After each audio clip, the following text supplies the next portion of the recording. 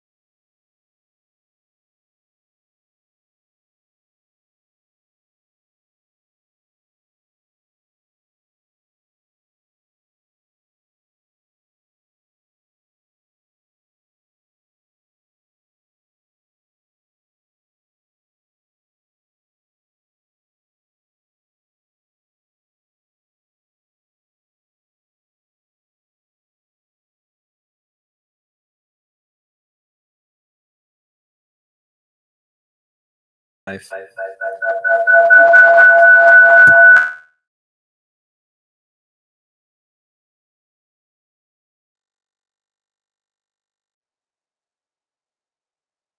And now we're, we are live. All right, welcome to the meeting. We'll go ahead and open the meeting at 5:05 PM.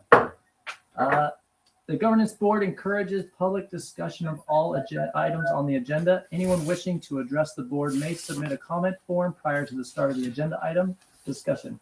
Comment forms will not be accepted for any of the items once the item has been announced. A person wishing to address the board shall first be recognized by the president and shall then proceed to comment as briefly as the subject permits. There is a three-minute maximum speaking time per person on single agenda item. The limit on discussing each item is 20 minutes. Board bylaw 9323 states the board cannot comment on a non-agenda item. However, the matter may be placed on the agenda of a subsequent meeting for action or discussion by the board per, per the Brown Act. Please be advised, our meeting is being recorded. Uh, are there any public comments on closed session items? The closed session items are item 2A, public employee appointment pursuant to Government Code 54947, and 2B, public employee discipline dismissal release pursuant to Government Code 54947. Item 2C, conference with labor negotiator pursuant to Government Code 54957.9, negotiator Molly Barnes, employees organization Sunol AFT Chapter 1494 local, CSEA Chapter 862, and management classified employees. Item 2D, public employee performance evaluation for the superintendent. Okay, we'll go ahead and dismiss to closed session. We'll see you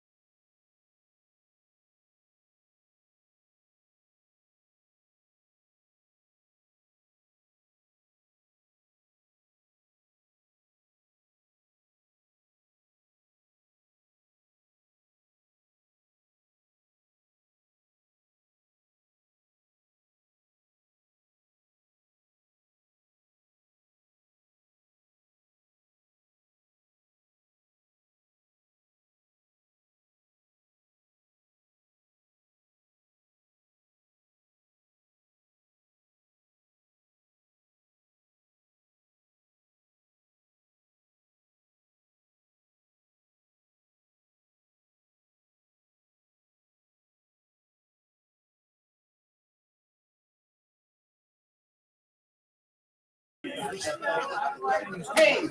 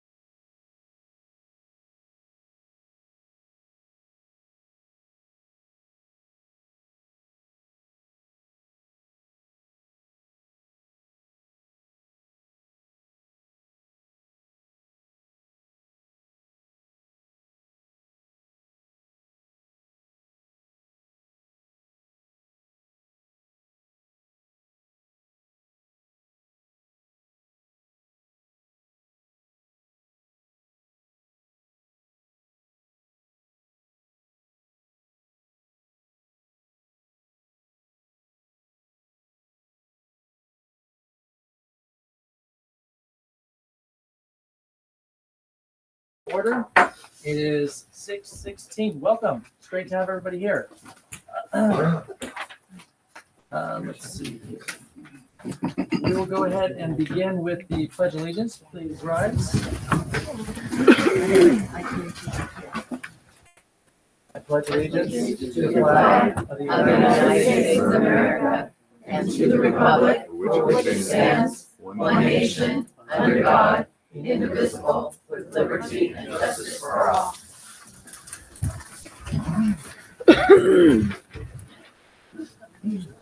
So I want to welcome everyone here. And uh, I just want to share a couple of things. Um, First, we'll get the business out of the way. The governing board encourages public discussion of all items on the agenda. Anyone wishing to address the board may submit a comment form prior to the start of the agenda item. Uh, Comment forms will not be accepted for any items once the item has been announced. A person wishing to address the board shall first be recognized by the president and shall then proceed to comment as briefly as the subject permits up here at the front. There is a three-minute maximum speaking time per person on a single agenda item. We will be sticking to that. The limit on discussing each item is 20 minutes. We will be sticking to that. The board bylaw 9323 states that the board cannot comment on a non-agenda item However, the matter may be placed on the agenda of a subsequent meeting for action or discussion by the board per the Brown Act. Uh, please be advised, our meeting is being recorded and broadcast. Uh, I'm glad that everyone is here. It's good to have public discussion. It's good to have comments, and we welcome that. Um, please keep it civil please, if you can, turn your cell phones off. Please avoid side talking, side chatter. It's a small room. It can get hot. It can get, the language can get heated. We'd like to avoid that. I, my name is Ryan Jurgensen. I am the president for the year for the board. I have four children that go to this school. I very much care about how the school is run, and I love this school. I think it's being run fabulously. I also believe in fair, open discourse, fair debate, proper governance. My agenda, personally, is to keep this school going in a healthy, good direction, to keep it safe and kind for all. I hope that that is the agenda of the board, and we try to come to a consensus and move forward. Um, personally, I try not to speak a lot on the particular issues to not get too politicized. And I am very glad that my children so far report that a lot of this, they're completely unaware of it. Good. I'm glad. I am glad that teachers are keeping it out of the school. I hope that parents will try to do the same. Mm. I believe that the right, the right to free speech, our First Amendment right, is important. But hate speech is not a protected right if it's demeaning on the basis of age, race, ethnicity, gender, disability, etc. The right to free speech is not just to protect your right or my right, it's also to protect the speech of those we don't agree with.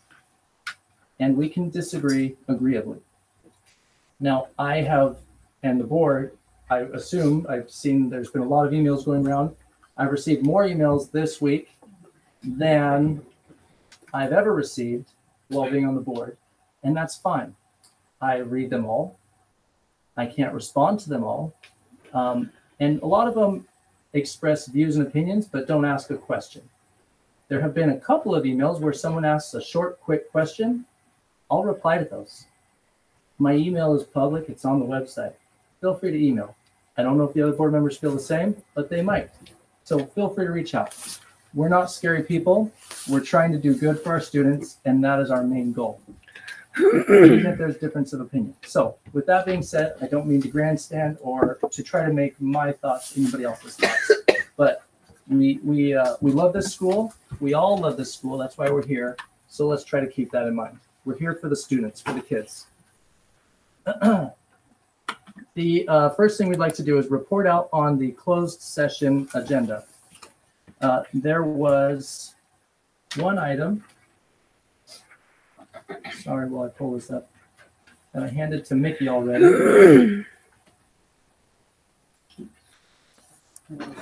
I've got, uh, About status change, no, not this one. Uh, status change for two, uh, employees that's going from probationary to permanent. It is Miss Horton, Carly Horton. I'm going based off of memory because I don't have the paper in front of me, and Miss Rachel Malgeri. And that was approved, uh, with a unanimous vote by all three board members. Uh,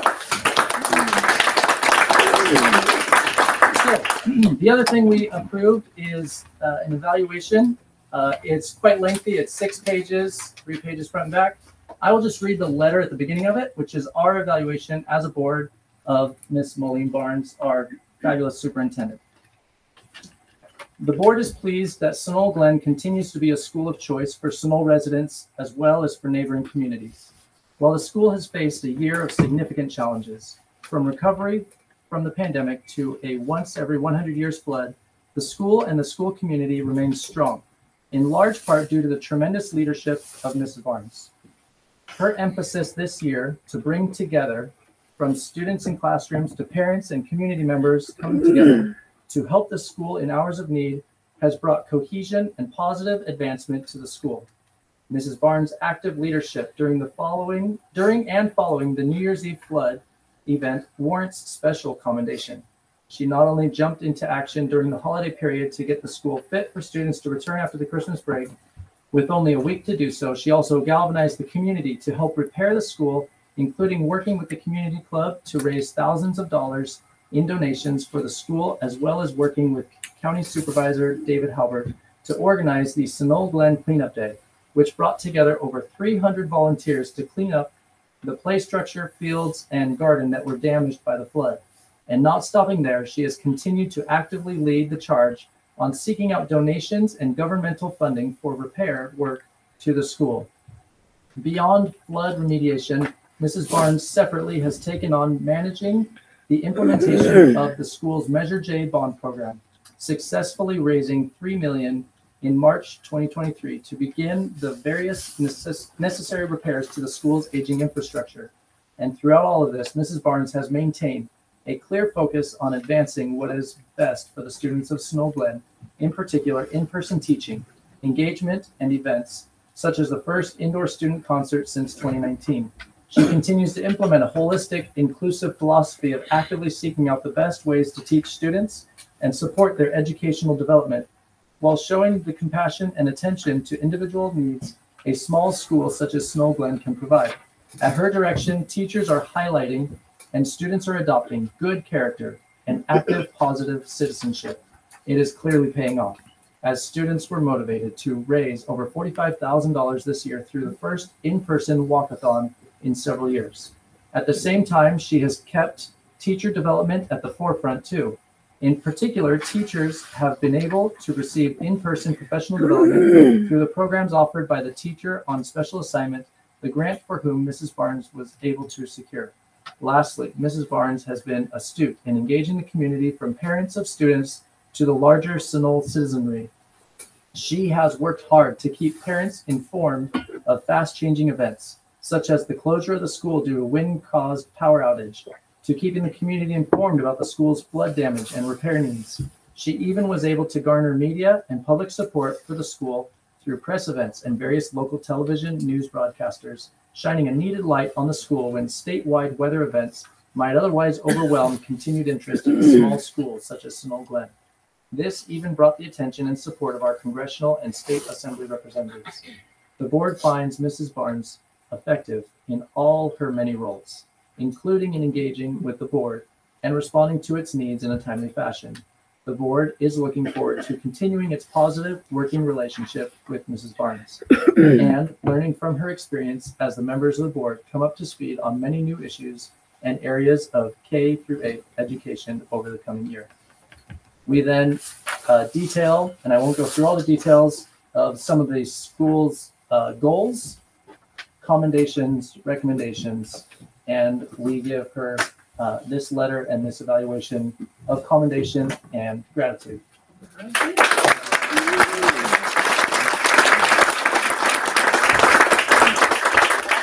overwhelming and it has been an overwhelming year, and it's true to Sunol Glen. You guys, everybody here knows we can't do this alone. This is all a, a group effort. We're, we're a team, close knit family. It's all that synergy of positive. We can do this. My favorite thing to talk about is on January 1st when this was happening. I talked to a couple people on January 2nd, and they're like, "When are you opening, Molly?" And I said, "We're opening January 9th." Oh no, no, you're not going to open on January 9th. I go, "You don't know Glen." you don't know the people that work here. And we will be, I got Mr. Hoxie, I got Cheryl, I got Nikki, I got these three here. We're going to open. And we did. And people were shocked. They, they just, with the amount of damage, there's just no way we're going to open. And we did. So anyway, I just thank the, everybody because it, it couldn't be here without you all. So thank you very much.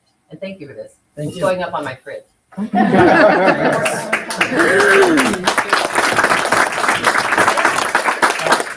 also report out on the contract amendment? Yep. Okay, all right.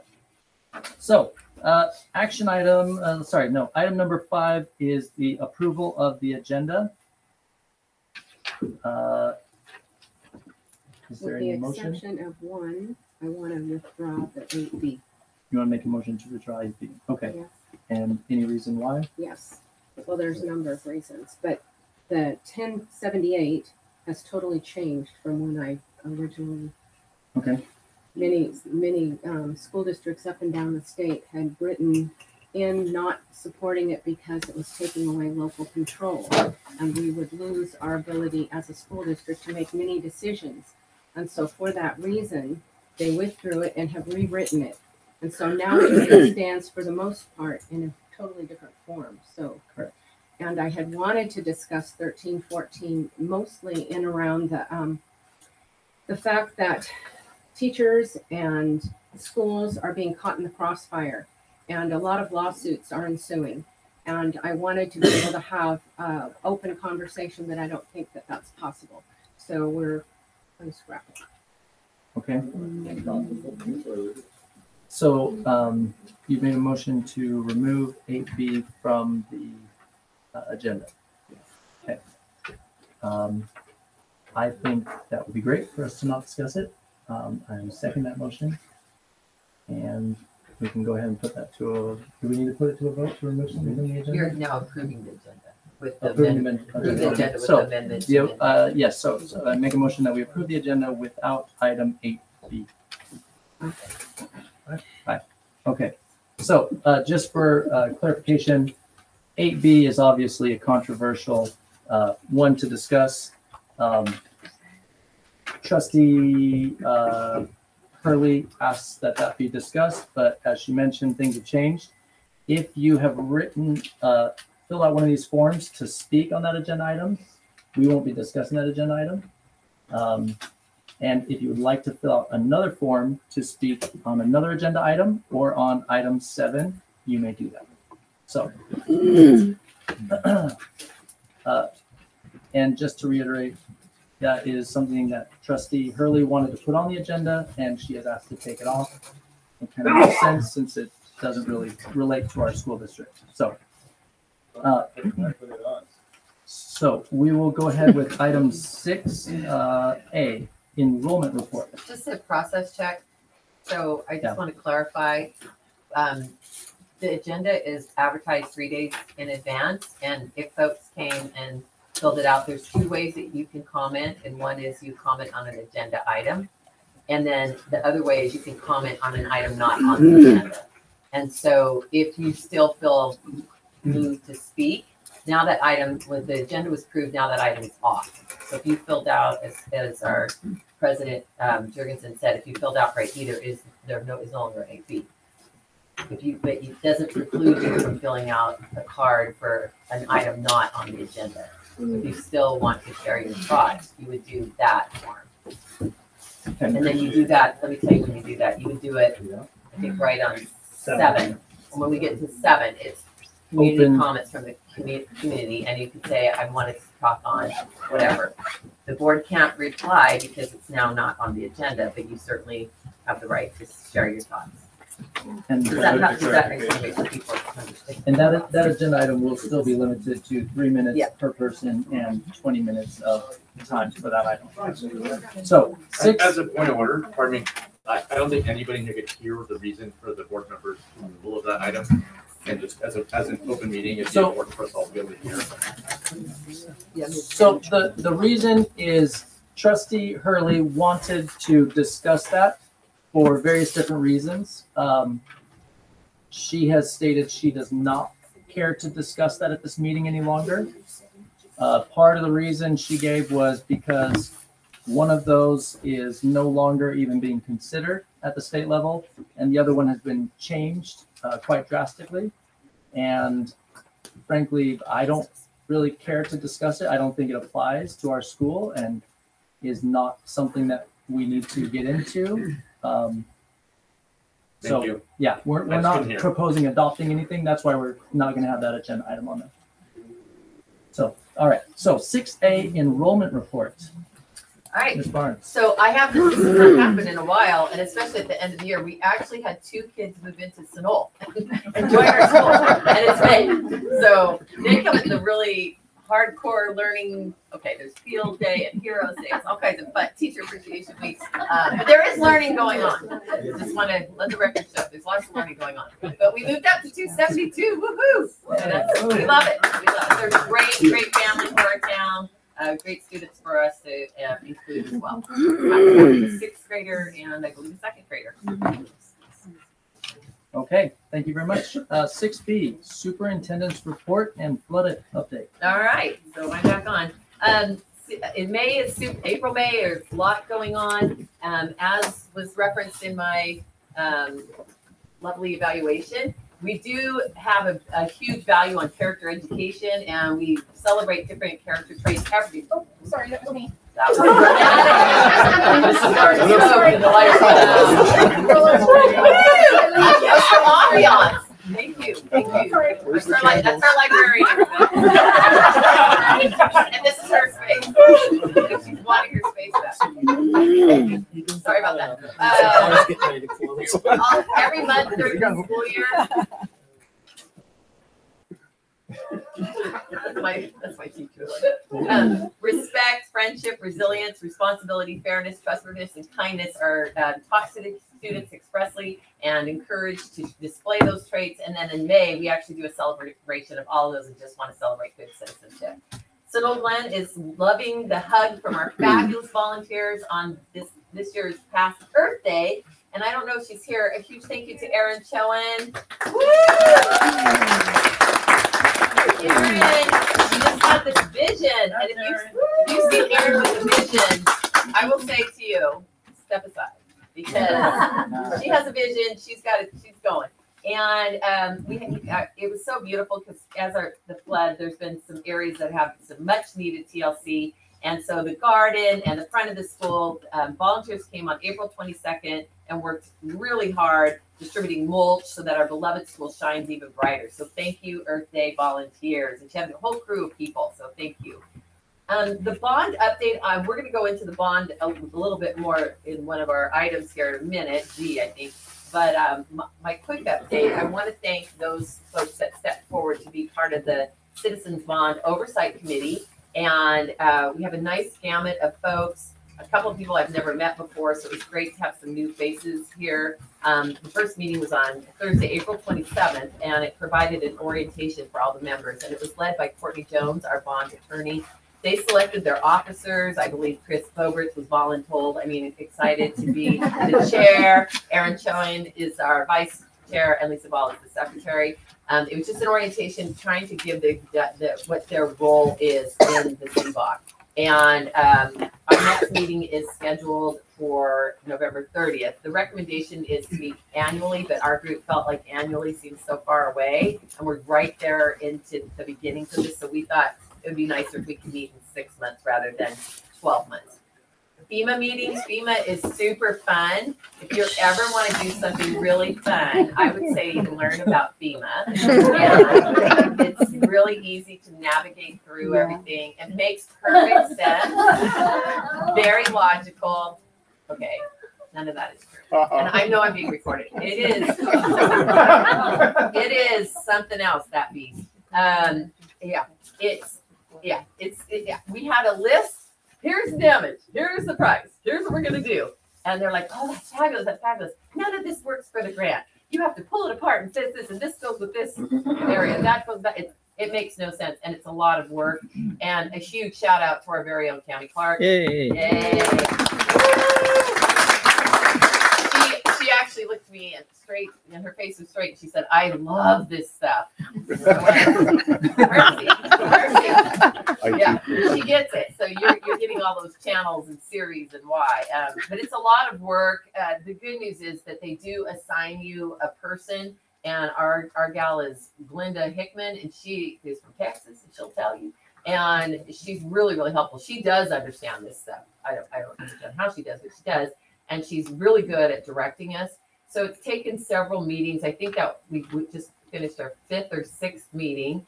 And um, you can see how laborious it is and how long it takes because the flood was January 1st, and here we are, May. So the May 4th meeting, we were finally able to close out, I believe, three of our areas.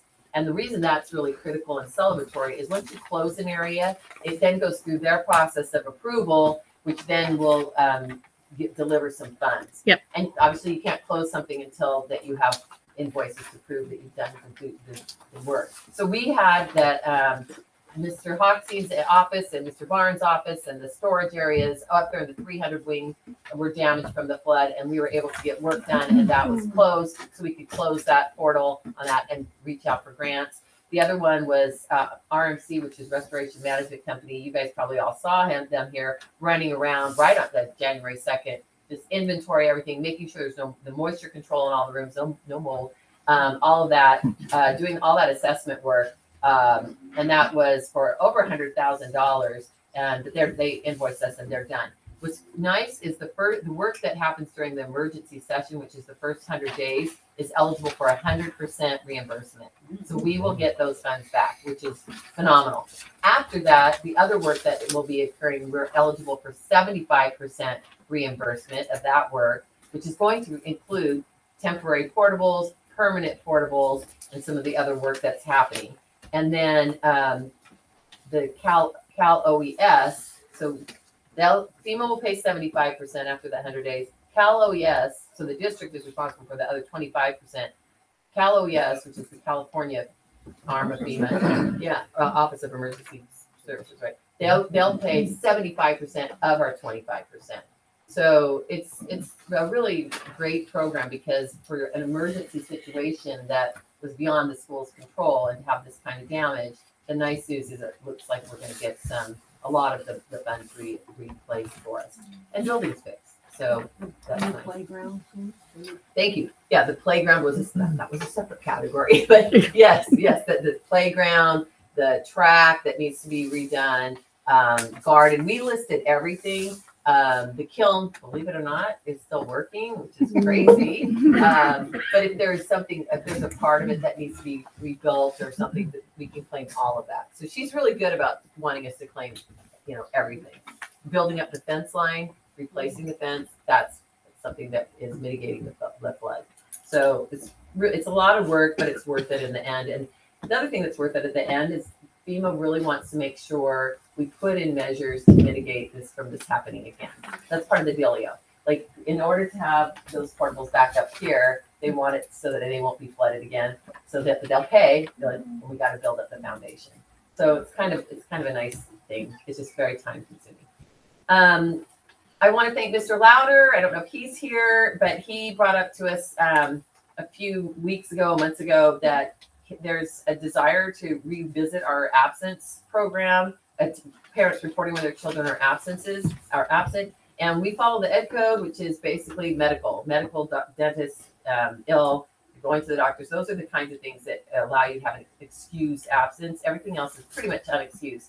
But he did share that at Pleasanton, they have a new a new form that they put into place. We have a wonderful relationship with Pleasanton. Our kids, little kids, go to school is in Pleasanton, so we always like to hear what they're doing and adopt if we can.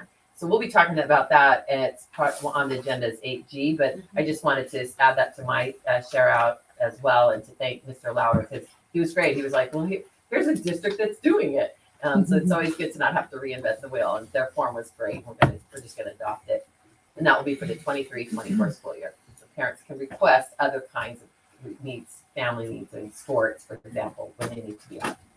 Um, I love that you captured in the valuations of things that have come back. We also had an amazing, if you didn't come, you missed a treat, wax museum. And this, I know, it was so beautiful. So we, and yes, it rained. Like, of course it rained in May on our poor little babies. So we have something called the Wax Museum where, where students are charged with the responsibility of selecting uh, per, uh, people who have made a difference. So they get to pick. There's, I think, 65 kids that participated, and it was people all the way from like William Shakespeare, A- Abraham Lincoln, Charles Darwin, Vincent Van Gogh, Martin Luther King, Neil Armstrong, Jane Goodall, Amelia Earhart. Lots of there's quite a few sports. LeBron James. I didn't him. Steph Curry. Steph Curry, yeah, Steph Curry. that in the minutes. Tom Brady.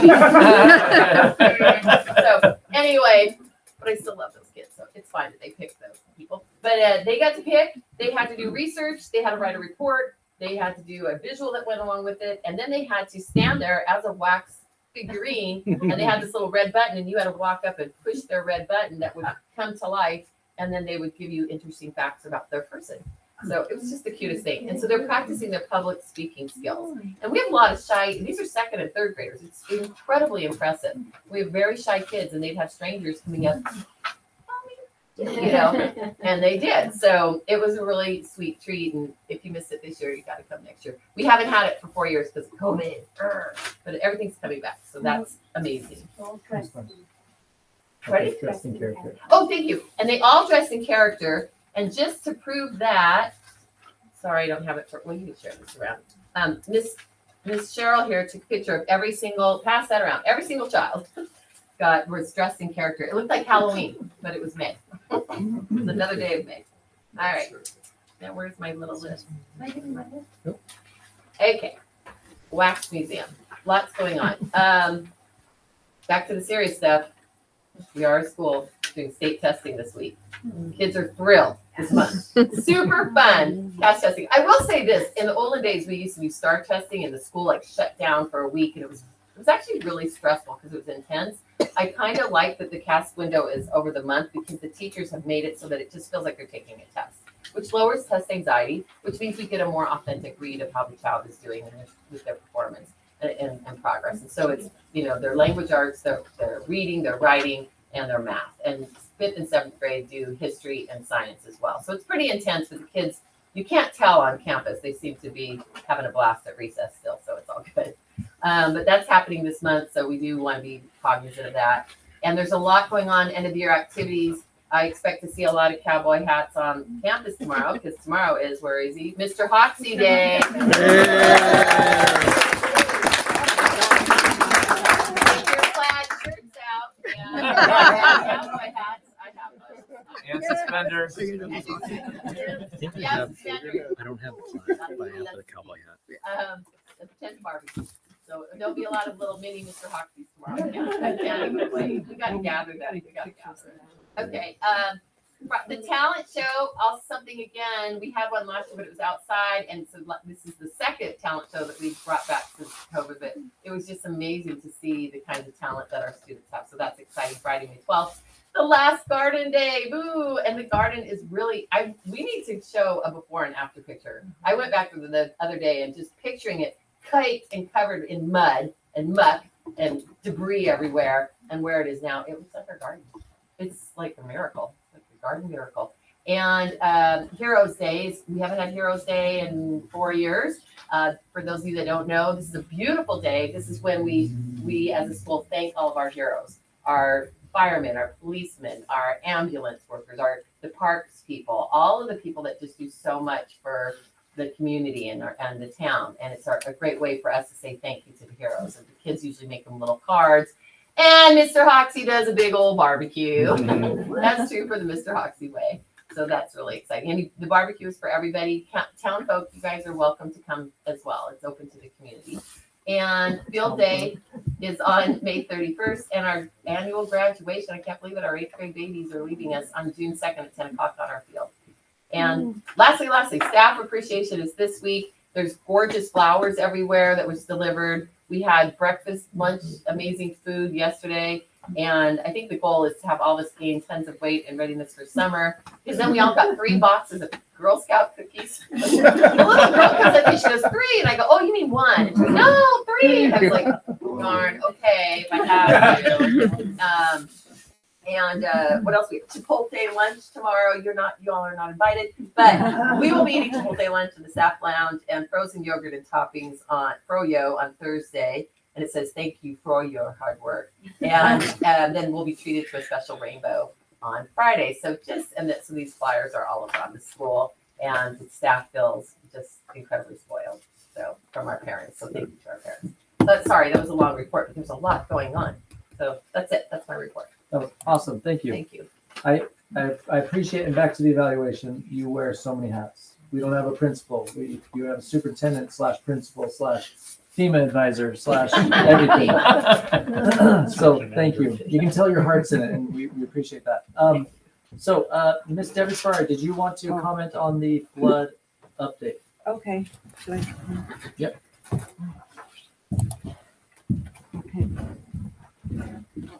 So I wanted to find out of the three million dollars that has been um, borrowed so far, uh, the bond money, how much of that has gone towards flood? Um, you know, expenditures, and do you expect all of that to be reimbursed? And if you don't expect FEMA to reimburse any bond money spent, um, I'd like to know about pursuing SFPUC. Now, that's separate than Zone Seven. There's already gonna be a discussion with Zone Seven, so I'm not talking about that. But I wanted to know, because you had said that, um, you had, that we're paying the architect to speak to SFPUC about permission to put portables. So during that discussion, did the, um, architect also talk to them about the damage? That in my view, it seems like they, they, they are responsible for that damage potentially. So did the uh, architect talk to them about that? Um, and if not, or even if so, if, if nothing's happened on that, who's talked to them, what's been said? But I think since the architect has that special relationship and he's being paid, could you ask him to set up a meeting with Zone Seven so that members of the community that are interested and have information can see them face to face, have them explain why they wouldn't be responsible for, to do some of that reimbursement? So um, this is on the agenda, so we can address it. The uh, architect, that's not his role. Um, so that wouldn't make sense for him to do that. Have we said stuff, have we brought it up with SFPC, Caltrans and Zone Seven? Yes. So far, it, it seems to be a lot of, no, no, the land is actually, it's Caltrans responsibility. No, no, it's Zone Seven. There's no, and this has been a conversation for probably ten years. And there's no one that is willing to take um, the responsibility. We've talked to, back then it was Supervisor Valle, I think in 2015. We talked to him about this. We've talked to the other assembly members about this, Supervisor Haubert. Just, uh, that's who, that's who, if town folks want to talk to him, that's the people who really need to be talked to because they can put pressure on those agencies. It's just disheartening. It's disheartening that there's zero responsibility from this, we don't own this. We don't own the creek. And the, and personally, the fact that the arches were, all the sediment, sediment and debris were so full up, there was no, not enough room for the water to move, then the water came over and flooded us. So it doesn't seem like it's hard to kind of understand that. That's just my humble Right. opinion.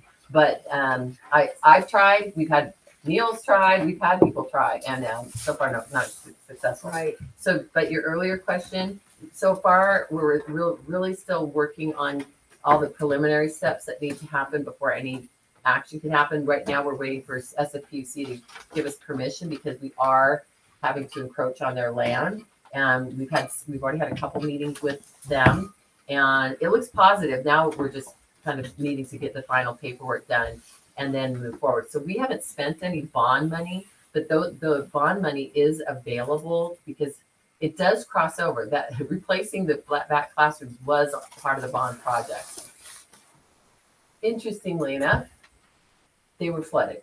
And so that's why we're putting in the FEMA request for FEMA to pay for that. Mhm, Okay, I just remembered you saying that he had the relationship with them and I thought maybe he could arrange a meeting with So interested parties. thank you for your comment. We're good. Um, so we're They're gonna, coming for the, um, the over, uh, the Snow advisory, aren't they? Zone Zone seven. seven is, okay. I don't know. March twenty-fourth. Or May Okay. twenty-fourth. May 24th. May yes. twenty- yeah. so, uh, one other quick comment. Um, I don't know if I made this clear before, but, um, these, uh, forms you turned in, will just go in order with the agenda items. And it's because of time constraints, it'll just be one opportunity to speak per person per agenda item. So I don't, I haven't looked super carefully at them. I just put them in random order. So if you've filled out in past, we've had people say, gee, I want to stand up once for myself and once for this person, once for this person. We're going to just limit it to who's here can speak once. So, uh, moving along, six, six C, uh, facilities maintenance report. Mr. Hoxie. Uh, You want- Did we skip something? Yeah, uh, uh, we, uh, item B, uh, one, uh, the flood update, it looks like, uh, an Oh, There item. was a presentation that went along with I that. just want to make sure we, do we need to do that one? It's. Oh, I think it was just backup information. Oh, Okay, Yeah, that's from the architect. Thank It's you, images. Sean. You're welcome. yeah, Okay. It's just information. Sorry, thank you. Sorry. Sorry, Mr. Hudson. Um, No, thanks for clarifying. Other than the usual stuff going around, fixing a few things here and there, uh, my weed whacker broke. And it was not that old, so I gotta take it back to Campbell because they're the only ones that work on battery operated type we have, so working on that. Um, doing a lot of paperwork, trying to get prices and everything with FEMA, as Molly said. There's a lot of paperwork for that. Um, we demoed the portable. Um, this is what it looks like now. I think you've got a couple pictures there. Um, we had it during the, our last break. we demoed them out, all them off. And, um, hopefully this week we will be removing the mud. And that should be the last of removal as far as taking everything off site from the flood. But we've waited so long, give a shout out to MGM Trucking because they did the soil samples, which we had to have before we could dump the mud. MAG, I mean, what, MAG. no, MAG, I'm sorry. Please get Thank right. you. I'm thinking of the casino probably. I don't gamble, so. Uh, Anyway, they, they did the soil samples for us on the mud and, um, they were gonna haul it. to- And dispose of it, we'll get it disposed of. Debbie, that's a huge thing. Me- Uh, Mr. Hoxie told me a couple weeks ago, and I was like, "Oh my gosh, thank you so much." I mean, that's a worry about how we're going to do that. I just personally want to shovel it back or send it home. Not a Mr. bad- wouldn't let me. He's Not like, a "You bad can't idea. You know, Actually, send it home. that- But anyway, but thank you. Yeah, Oh, but I didn't do it. Of course I didn't. It's just a fleeting thought. on the soil samples, we did come back with a little, some high metal contents and stuff in, the- in this pile here. So we tested the garden just to make sure and our garden came back clean, so. there's- I don't know what the difference is. That's all I got. Thank you, Mr. Hoxie. Appreciate that. Uh, six D, technology report. like to report to the board that we are currently, as um, Superintendent Barnes said, we are currently in testing season. So during the season, uh, the IT department is pretty much all hands on deck for um, testing and ensuring um, the students have the right testing environment and good internet connection. Um, if uh, you were here earlier, uh, this is actually a separate testing environment that we set up for students so that um, students who need uh, a different environment for testing uh, can have uh, the environment that they have. Um, but besides that, it's pretty much uh, supporting the teachers, taking in tickets. And um, the one thing before I hand it over to Ms. Clark is that um, the Biden administration has uh, given CISA um, the ability to give grants to states for cybersecurity funding. And we are um, i am part of a subcommittee that is part of the grander uh, california. And we are in the process of uh, dispersing that money and going to figure out how to share it with everybody else within the state uh, the first disbursement is supposed to be this november but i will um, as we are kicking off i will report to the board um, status updates with um, coordination between all the agencies between um, within california including k-12 so um, besides that, uh, we're working on updates, working on pretty much uh, making sure everything's okay for and prepping for uh, summer as well. So um, Ms. Clark. Can you put up my presentation? Just real quick, um, Sean has been really doing a lot of research on the cybersecurity because that's critical. He's probably read what's happened in other districts and other entities. And so uh, it's an area that we're really concerned about. So I appreciate all your hard work and that you're really wanting to make sure Sunol School is secure. Thank you. Thank you. Uh, data and ed tech update. You can go to the next slide. Just kidding. Um, we are still in the middle of our student data confirmation. That is our current enrollment. Um, you can see we have our confirmed, that is our returning student status, our pre-enrolled, which is new students. Um, we have the, this yellow, which is more of a concern area. It's about 72 parents who have not done their data confirmation. That's not unusual. Um, I, I know there might be some people in this room who might not have done it. Um, so can't leave until they do yeah, it's, it, that's not totally unusual around this time. Pretty much, we have our our regular scramblers in the month of May who end up getting it done. So I'm not too worried about that. Um, we do have our non-returning, which is I believe eight students, and then of course we have our 25 graduates, um, and that comes out to so far um, uh, to about 262 total projection to date for 23 24 but a lot of changes happened over the summer. So, uh, next slide. Uh, FEMA project work. I'm pretty much the person who gathers all the digital information once um, Hoxie and Mrs. Barnes have done the legwork. Um, and then I deal with the FEMA portal, which is a bit of a beast, but um, hundreds of documents is not an exaggeration. So um, there's a lot of photos, a lot of um, things that need to be uploaded. So these are the current projects um, that are in process that need documentation. And then, of course, I put up there that our project damage claims deadline is this Friday. So that is really what I'm concentrating a lot of my week on this week. So uh, next slide, please. And then I just want to go over some upcoming updates. I'm really glad there's a lot of parents in the room because uh, just I'm not going to go over all of these, but some of the highlighted ones. Um, our eighth grade Gmail sunset 30 day notice goes out this week. I talked with our eighth grade teacher, let her know today. Um, that is basically gives our eighth grade, our graduates, an update that their account is going to be closed. So if they want to save any of their data, we provide them instructions on how to do that. Um, we also have we send out Chromebook loss invoices. I believe in our total years of doing this, we've only ever had one, and it was miraculously found. So um, we've never really had to co- to collect on that. Um, we also do things like Aeries Parent Portal holds, which we've never, ever, ever had to do. But if there was some extravagant fee or damage of some sort, we can put, or if there was just some some lingering data missing that was critical for a student's enrollment, we can put access to the portal on hold. Um, we do hibernate um, our K through seventh grade Gmail accounts over the summer, and that's so IT can um, do some critical rollover work um, for as we prepare for the 23-24 school year. Uh, I also want to point out final report cards will be mailed home on June 14th. And I have already started the process of um, discussion with Aeries of doing our SIS rollover for 22 uh, 23 for the 24 school year. And so that rollover date is June 21st. And that's when we will start to see our new database for the new school year. And that's really it for my report. Thank you for that report. You're welcome. I, I really appreciate the tech team and for the help with testing and keeping all this going. It really helps the parents in our community. And I loved asking my kids about the standardized testing. I said, "Do you?" They're saying it's all online. I said, "So you don't have scantrons? Like, what are scantrons?"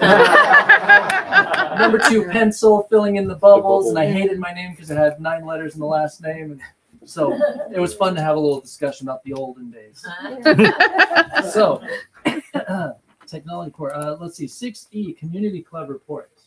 Yes, um, Mrs. Barnes stole my thunder on everything. That's Michael. But I'll look over a couple of the community club items.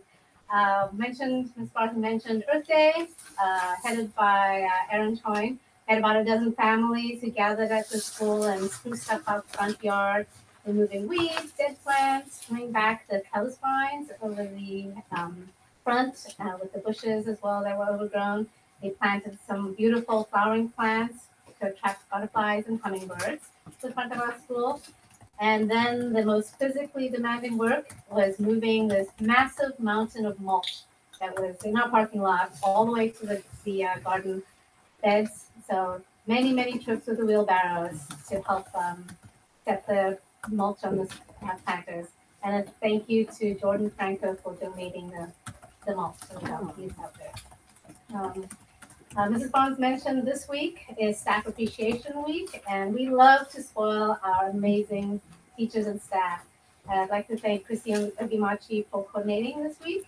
Um, over the weekend, we had our room parents come in and stealthily put the door decorations up. So if you look around the school, there's uh, doors on uh, kickers on the doors, uh, decorated with rainbows and sunshine. And all the children got to add a special message on their um, rainbows and sunshines to tell their teachers and staff how much we appreciate them. We did start off with breakfast on Monday in the staff lounge. Tuesday, we had uh, fresh bouquets of flowers and Girl Scout cookies. Wednesday, the yummy lunch from Chipotle. Thursday, frozen yo- yogurt with lots of toppings.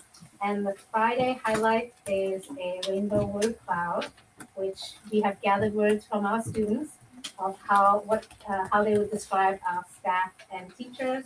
And the parents will also provide a basket of goodies to each of our teachers and staff with their favorite treats and snacks. So, but we want to just tell our staff that we love them, we appreciate them, and they're the best thing our school has. I just, I, I'm sorry to interrupt you, but I have to tell you, the conversation in the staff room is the teach, the staff is overwhelmed. I mean, they just are like, I can't, I can't, I can't believe it. I mean, it's just, it's the generosity and the love and the warmth and all the work that goes into making this week have everybody feel so special is, it's overwhelming. I mean, that it's, I, I don't, I can't even say anymore. Just thank you. Thank you, parents that are here. It's, yeah. The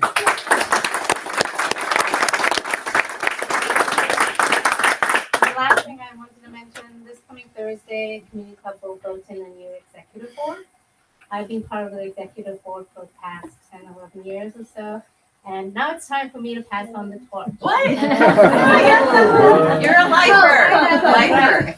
uh, seventh grader. I'll be around next year to help uh, mentor everybody through. But we have a um, great new executive board in the works. I can't say who they are yet because we haven't voted them in. But they will continue all the fantastic programs that make Sunol Glen School a gem forever. But anyway. Thank you.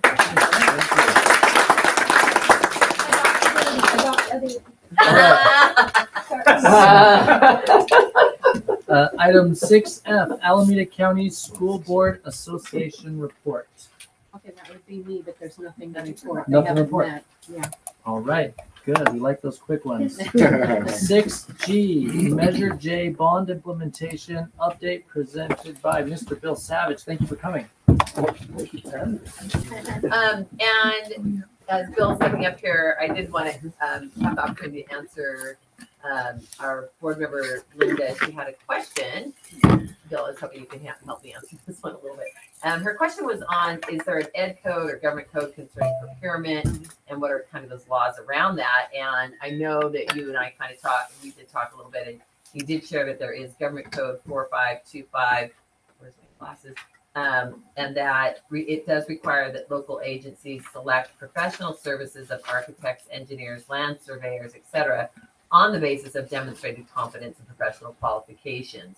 This then ensures that services are engaged at a fair and reasonable price to the agency and the school district. And I think when Chad was here last time or the time before, one of the um, conversations we talked about is that yeah, we did have a, an, a hierarchy or a priority list of some of these projects, but the flood threw us all for a loop-de-loop. So these back portables, we knew that they were on end of life, um, but our real priority was the main building.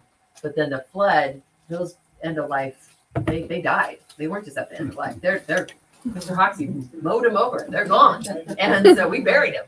And uh, so the whole conversation was the need for urgency for streamlining um, because right now our programs are struggling. Our teachers are not in their places. So right here, our library cannot have be a library. Mm-hmm. Our art teacher cannot be an art teacher. Our Eagles Nest is in the auditorium, which then means which is not set up for the, their program. And they also take that over when we then have rainy days, so there's no place for the kids for recess or rainy day PE or anything like that. So it's a really hard situation. So our number one priority is we need to streamline this. We need to get those temporary portables in, and we need to get going. And so, uh, but I don't know if you want to speak any more on that. So part of the question was, um, and I don't know, I mean, Ryan gave me some information that I did not have before I wrote you that request. Um, can you demonstrate that we have complied with the competition rules?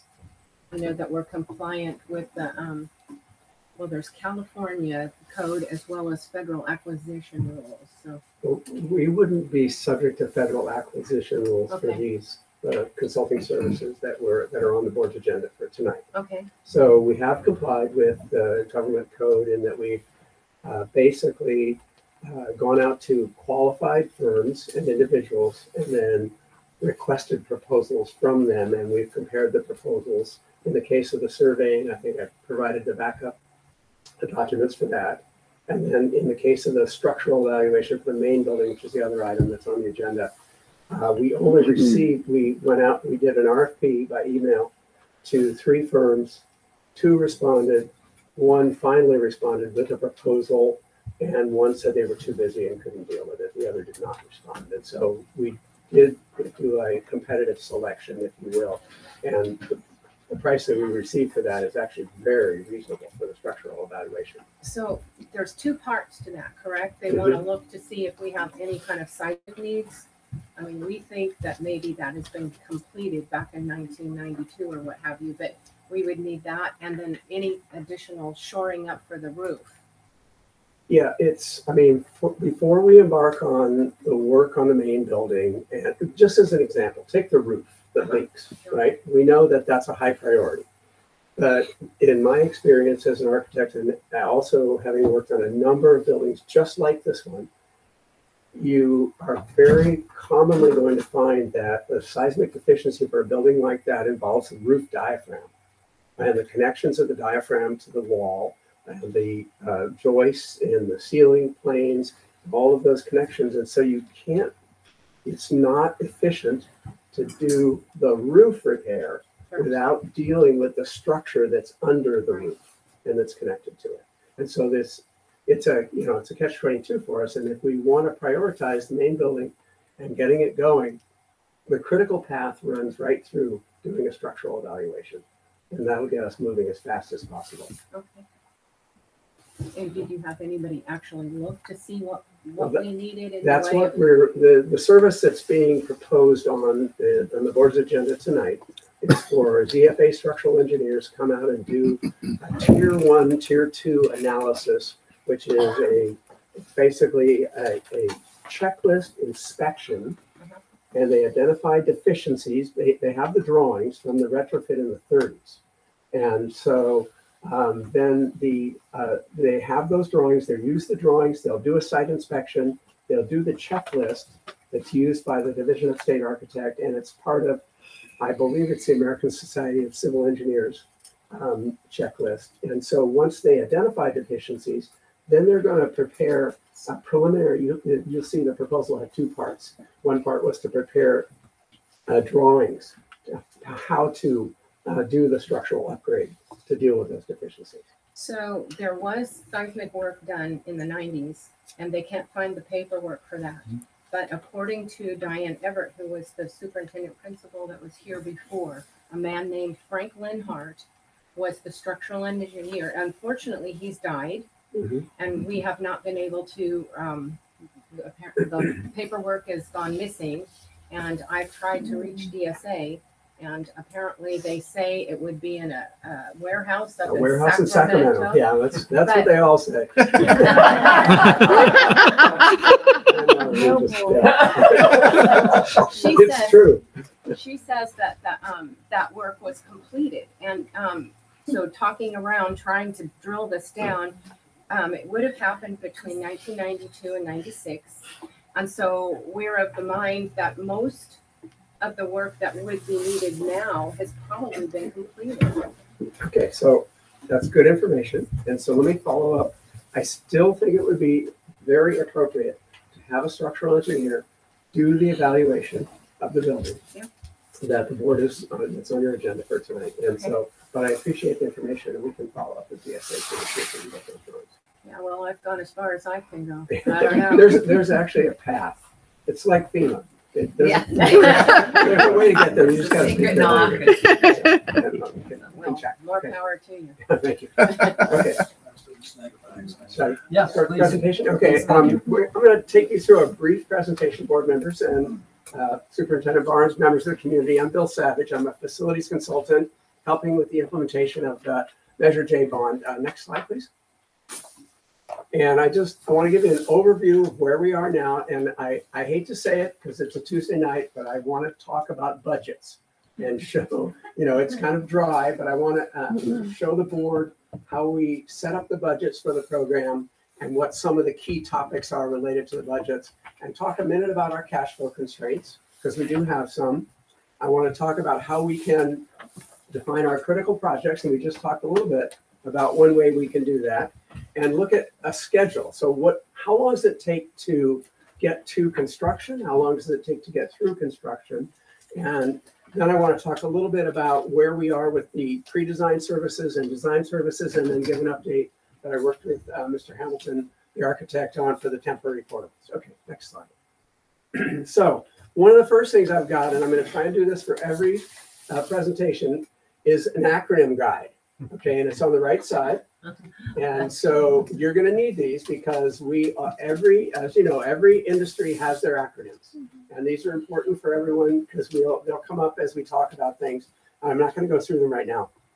But uh, so in, in the context of where we are with the bond program, we are in the pre-design phase. We are not designing anything other than the temporary buildings out in the front uh, for the flood uh, replacement. So we're using the original facility needs summary that we, that was used as part of the bond that totals $10.9 million that has a project list on it.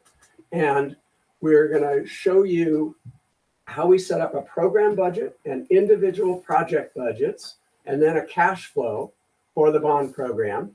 And how do we look at a schedule? And we're going to talk a little bit about the cash flow and the bond sales. There's three issuances that are scheduled, and the timing of the issuances, it means you can't do all the work at once necessarily, depending upon how much all the work is, right? Because you're going to get 10.9 million over the course of six or eight years, and it affects our ability to structure the project in, a, in an efficient manner. So we'll talk about that. And I want to talk about project timelines for school projects, and then uh, talk about a little bit what we were just talking about, pre-design tasks for our projects, and then confirm where we are with our priority projects and our need to get an architect. And okay, I'll keep moving. I know everybody wants to get to the public comments. So, What are you talking about? so this is the format that we use for our program budget, and it includes revenue to the program in the blue on the top, and you can see the 10.9 million. And there's other lines for revenue. One item of revenue that we will receive over time. Your bond funds have the bonds have been sold. The funds are on deposit at the county. You will earn interest on those bond funds. I made an estimate uh, I worked in a- another district, a small district in Contra Costa County that put twenty million dollars on deposit for six years and earned uh, two million dollars in interest on those funds while they were uh, in flux going through that. So I've put in a placeholder of three hundred and ten thousand dollars in there, just as a placeholder. You can see each of the projects is listed, their original budget is listed, and then if we make changes that the board approves in the center column, we put the change, and it will then change the adopted budget on the right-hand side. This is a program budget. It's a roll-up of all the projects. All the project numbers feed into this budget. So there's a couple of projects, there's four items at the bottom uh, uh, that are not on the project list that we may want to think about how we fund. And one of them is district furniture and equipment. A second, district-wide technology. A third, is program management, and I'll show you a program management budget. There are costs related to managing the program, and I will show you some of those. And finally, there, I've left a line item here, as we do for every district. Do we want to carry a reserve? A risk pool, if you will, because in construction, things happen. So we, we can talk about that as we go forward. So this is the program budget, and this is the format that I'll keep the board updated and the community updated as we go forward. Next slide, please. So this is the project budget worksheet.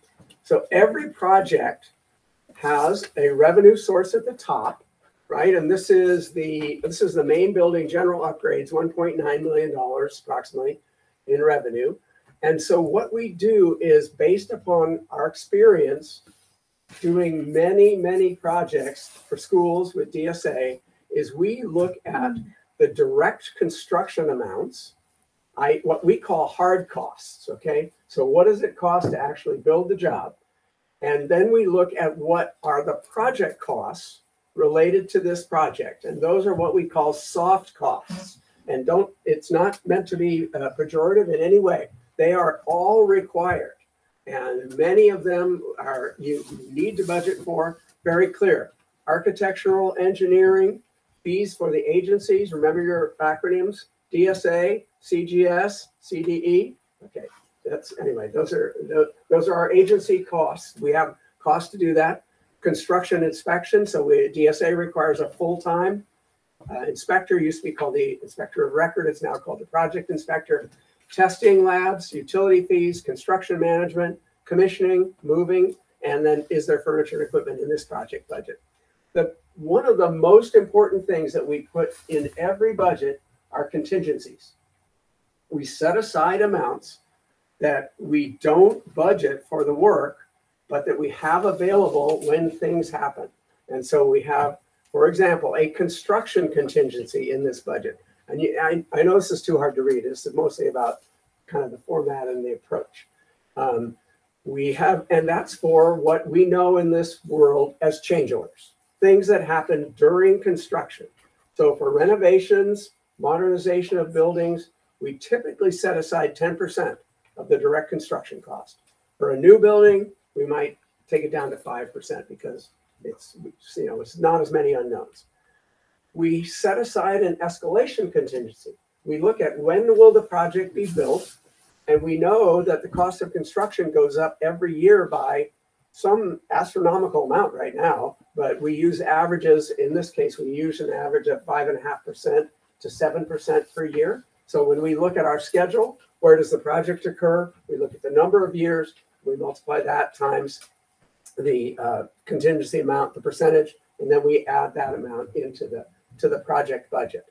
So just to give you an idea, out of the 1.9 million for the main building general upgrades, 1.5 million is available for direct construction. All of the, it's for construction, for change orders, and for escalation. And so then we have a real idea of what, so when we go out to bid or we sign a guaranteed maximum price agreement with a contractor, we need to know what's our exact construction budget because we can't award a budget, a contract for more than we have in our budget. And so that's, this is probably one of the most important pieces of our work. So one, I got two more and then I'll get off the budget. So, okay. Uh, next slide, please. Sorry. Oh, that's Wrong. okay. So program management, uh, it does cost the district money to manage the overall program. And so the types of costs that are incurred by the district that you can't necessarily assign to any project per se, we call program management costs. Many school districts have staff members that they pay when they're, and they're allowed to pay them if they're directly involved in managing the bond. That may not be the case in this district. And, and I haven't put anything in any of that line item yet. But there are operating costs, there might be office expenses, there will be legal costs, there will be financial costs, there will be auditing costs, and then we need to confirm where our bond issuance costs are being paid, whether those are being taken out of the bond proceeds, whether they're net or not. And uh, Ms. Barnes and I have been working on that with our financial advisor. So that's our program management budget. Next slide, please. So this is probably the most important slide.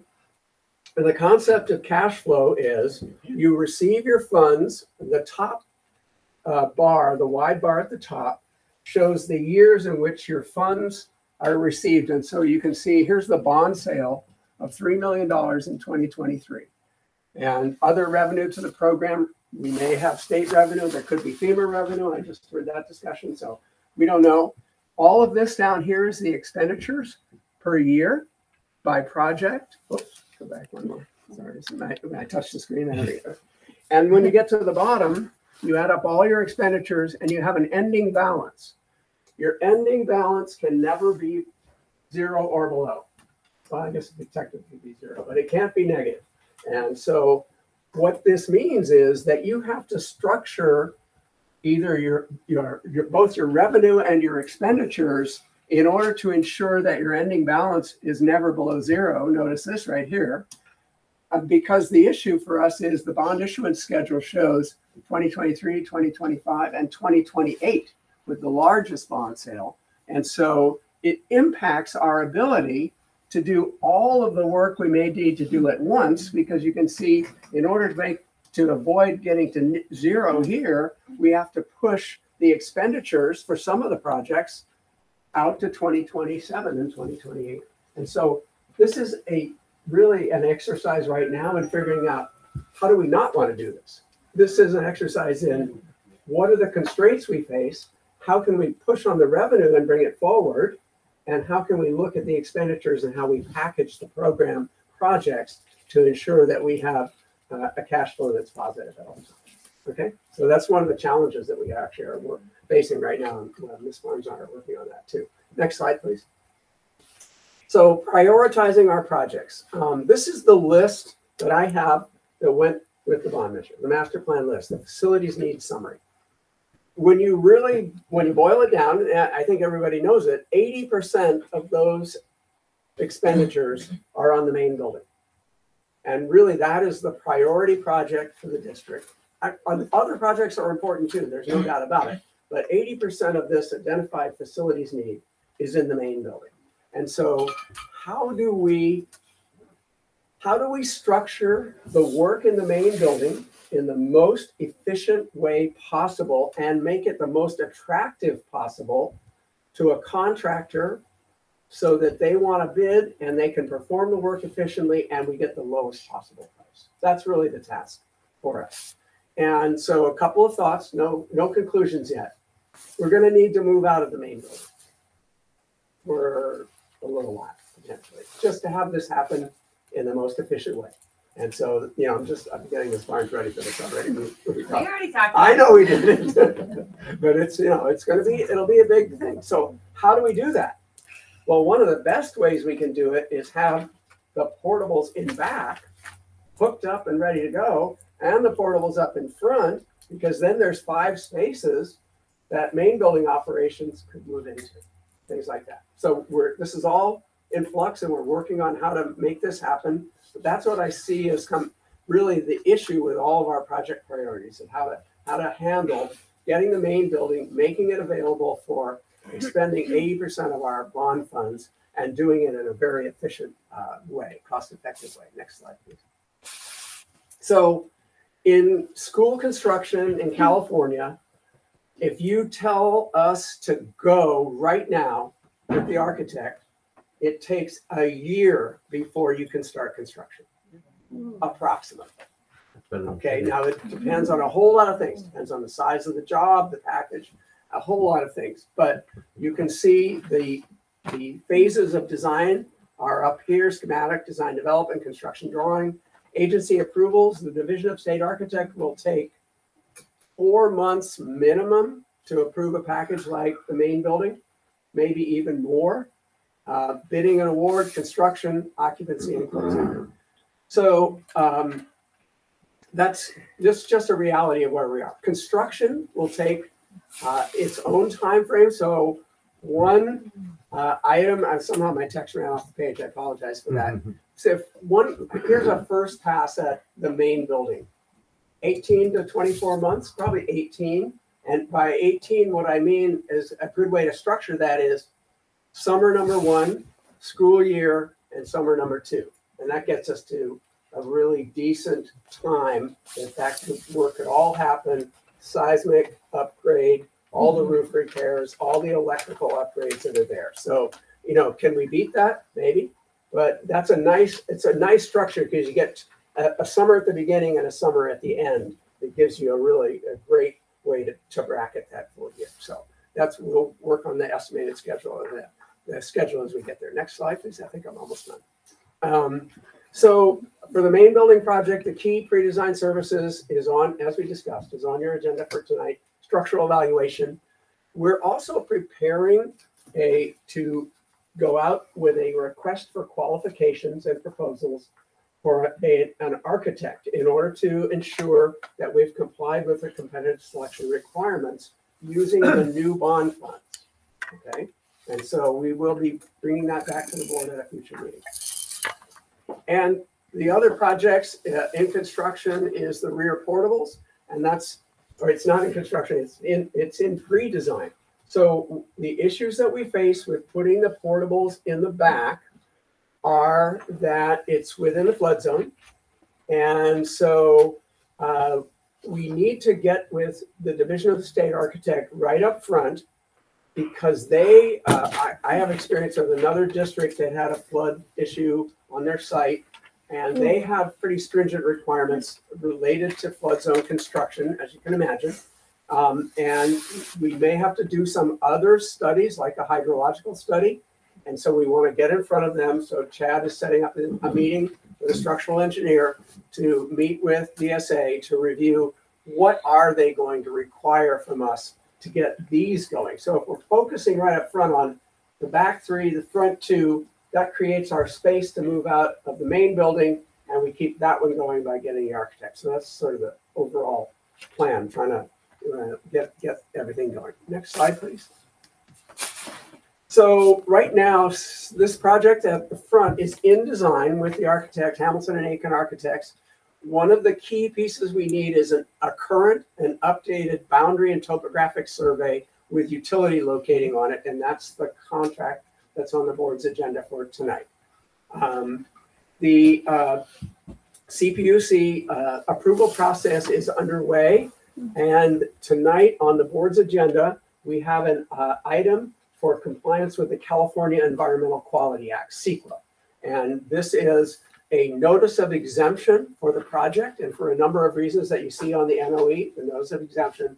Uh, the project is exempt because it's temporary in nature, it's a minor disturbance of land, it's minimal utilities, and it's a minimal additional space to an existing school. site. So uh, that, I believe, is my, my report. Next slide. And we're sailing.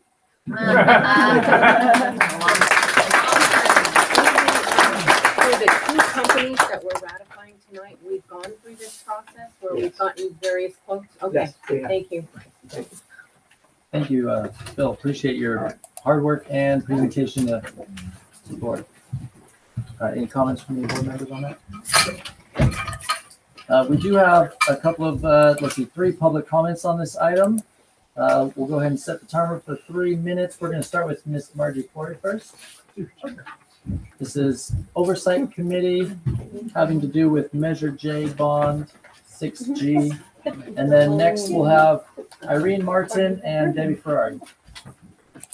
Um, I'd like to talk about the oversight committee. And I wanted to let you know that my husband and I have lived in Sunol for almost forty-three years. And our two daughters and our only grandchild attended Sonoma in school. When our daughters were in school, we were very active in the community. And as I'm sure many of you have children right now currently attending. Um, I want to talk, before I can talk about that measure, the oversight committee, I'd like to mention a little bit about the bond measure. Hmm. I recall a bond measure that was passed while Diane Everett, or possibly the previous school superintendent, was totally different from Measure J. Measure J, the majority, well, back then, the majority of the students that attended Sunol Glen School were Sonoians. Parents were involved heavily in the decision-making project process. Fast forward to 2022. The bond measure was quickly introduced to the community, giving the community very little time to, to make an informed decision. And this is very disturbing to me as a Sunolian. Those who opposed were publicly humiliated, signs were taken down, and bully tactics took over. Um, the so a lot of the people were considered enemy of the Sunol, um, considered minority. No dissension was allowed or tolerated. That's disturbing to me. My husband and I were not here when Measure J was voted on that day, particularly because we were on vacation. We heard at first that Measure J did not pass. Then we heard the county gave Sunol 30 days to recount the votes. Not only this create mistrust, anxiety, but the question is now accountability. I'm asking the board appoint additional members on the oversight committee to not just represent the school, but the people of Sunol who are concerned about how the funds are allocated, particularly since we're paying for this bill, for this measure J. I understand correctly, there are, I think, seven members in the oversight committee. Um, and I'd like to see a more rounded group of people who can, I- I guess it's transparency what I'm looking for. I, I want to know that the money that we are spending on this bond is going to, and how it's implemented, what's involved, um, and to, and to inform the community, to let them know that the money that they're spending on this bond measure is being used wisely. Because I know now that most of the students that attend Sunol Glen School are not from Sunol. So there's very, there's very few that are attending school, and there's a lot of us that are paying for this school. We'd like to know of the transparency counts. Okay, and, um, another thing I'd also like to Thanks, mention. Ms. Corey. That's uh, the three minutes. Oh, okay. So we'll go ahead to the uh, next commenter. Thank you very much. Uh, Ms. Irene Martin.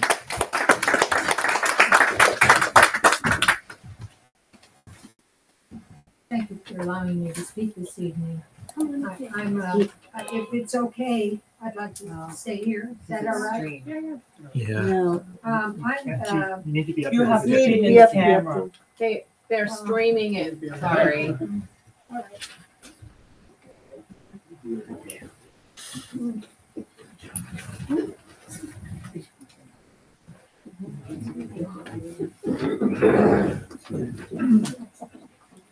I'm Irene Martin. I've lived in Sunol for forty-seven years. I'm a retired educator, fifty-two years of service, thirty-four as an administrator for Hayward Unified School District. I've taught at uh, elementary level all the way through adult school. I've been a high school um, guidance counselor, high school principal. I've been uh, the elected president of the Association for California School Administrators at Hayward Chapter. And I've read for the Educational Testing Service, uh, which uh, tests teacher uh, credential candidates in English and language arts. If you can't pass that, you can't be a teacher. I wrote a letter uh, to the board, um, and I'm here to emphasize the fact that Linda Hurley speaks for us. We stand with her and we support her. And I'd like to read the letter that I sent to the board members. Uh, I have a copy for you too, Mrs. Barnes, back at my seat. I'll make sure you get a copy. Thank you. The purpose of this letter is to bring to your attention issues regarding the passage of Measure J and the appointing of the Oversight Committee, which will monitor the spending of the money. In the days following the November election, we learned from reliable news sources that Measure J had not passed. About a week later, we subsequently were informed that Measure J had been passed. This sudden, surprising reversal caused confusion, raised doubts, and cast a shadow on the election outcome for a number of voters. With this turn of events, division among Sunol voters became more pronounced. Our divided community became even more divided. The breach is very real and should not be ignored. as was pointed out before the election by concerned, caring Sunolians, a bond issue in hard economic times is controversial and unsettling. Many households are struggling with inflationary hardship. Some voters on fixed incomes are hard pressed to make ends meet. Homeowners' insurance premiums are skyrocketing because of the threat of wildfire. The 300 households that must pay this bond levy are proud of our school, but must also deal with hard economic realities. In order to deal with our dilemma in a responsible and conciliatory way, Uh, the time's almost up. in order to restore trust and faith, we need participation that is transparent. Thank you. Increasing the number of the oversight committee The- members the to time is- eleven or the time is thirteen. up, Sorry. Thank you very much. And Thank you for staying us that late. Uh, Miss Debbie Ferrari?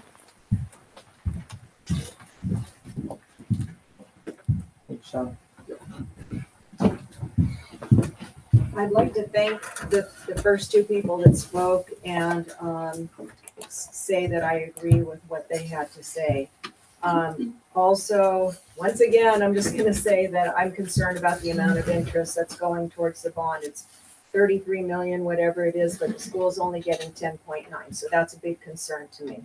I'd like to find out, you said hopefully the money's earning interest right now how much interest is the money in the bank that we borrowed earning? What bank is it in? I know there's CDs right now that are running um, about four percent for a short-term CD. So I hope that money is earning good interest right now while we're accruing all that interest. And then I'd also like to ask if you could put it on the agenda that each member of the oversight committee could speak, not on today's agenda, obviously, in the future, that each member of the oversight committee could speak as to their perspective and their goals and their plans um, so that we could perhaps get a better comfort level with the oversight committee.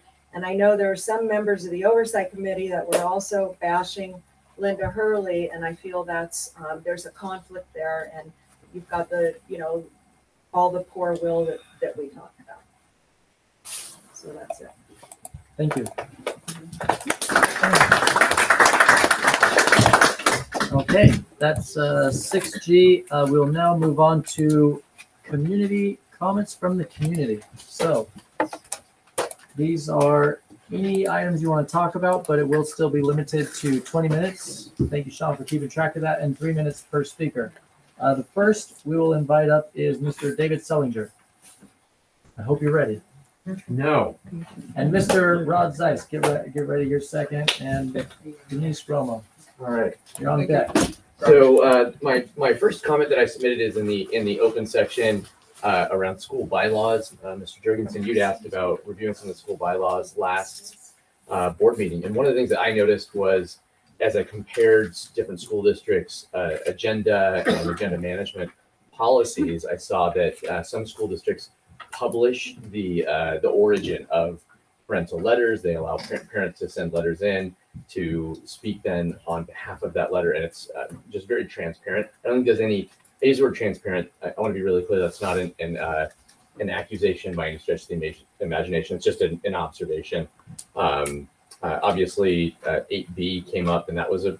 I think it set sent this uh, community, especially parents and teachers, into a bit of uh, an uproar. And knowing where that came from, I think, is very important, and we we didn't know.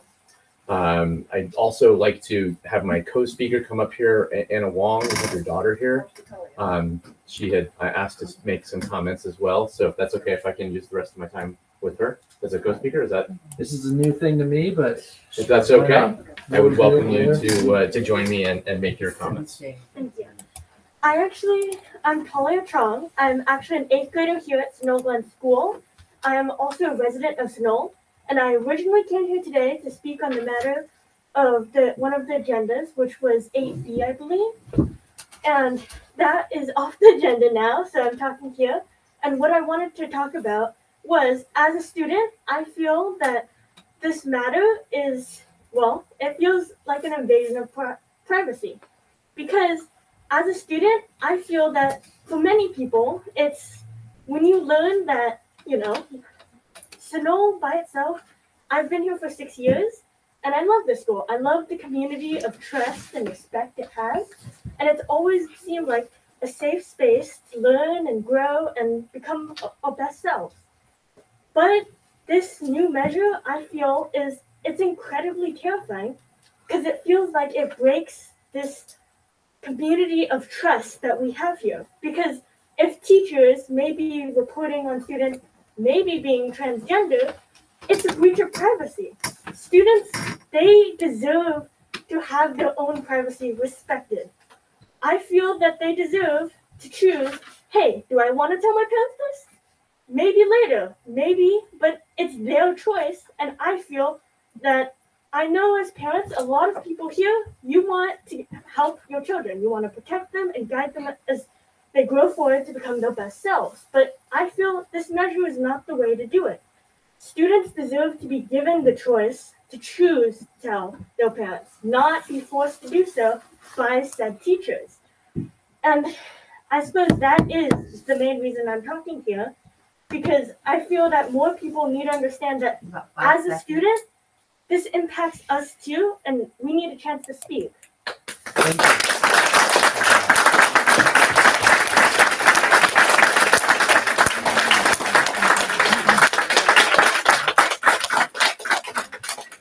A big special thank you to people who are sharing their thoughts and especially to the students. You are heard. We do hear you. Thank you. Uh, Mr. Zeiss. Hi, everyone. How you doing? Great. Good. Um, so I've been coming to these meetings quite regularly, and I pretty well kept my mouth shut. I'll say a few things, a word here, a word there. But I got to saw a sign. This is a great sign. Anyone disagree with this? Anybody? Yeah. Okay? This is why we're here for the kids. You may have a different opinion than I do. You have a different opinion from someone else. We all have different opinions. But we're here for what? The kids.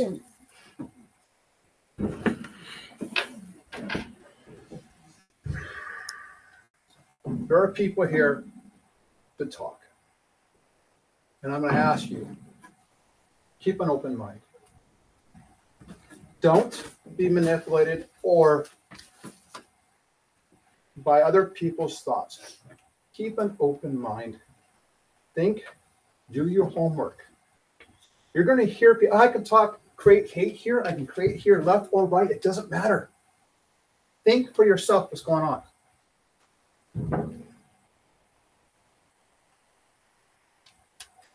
So this, I've been coming here for a while, and I haven't said a lot of things. I can point some things out. Prop J did divide this town. I'm telling you straight up. There was stuff done. I'm not saying left or right. I'm just saying there was stuff done. So, signs stolen, people harassed. Okay. People are afraid to even say what they wanted to vote on. Okay. It divided this town. It divided it. And then, unfortunately, which was a good thing, we had a flood. And what happened? We did this as a community again. Mm-hmm. We came here to school. We had people, Ben Copeland invited people to come in his house. I had people sit in my house. I went up and helped them clean up and do work in their houses. We did this again. But now, what I'm seeing is someone come, people coming here and try to create division. We don't need division. We need to do this. Okay? I can come out and I can say things and point other points that people said this or that. I don't want to do that. Um, I was against Measure J. But I've also said in the past that I'm willing to pay more taxes for the school for small classrooms. So am I an anti-taxer? Or am I a person saying, look, I'm thinking of the kids. I want the kids to do well in school. So before you come up here, if you're going to talk about negativity, think. Please. Thank you for your time. Thank you.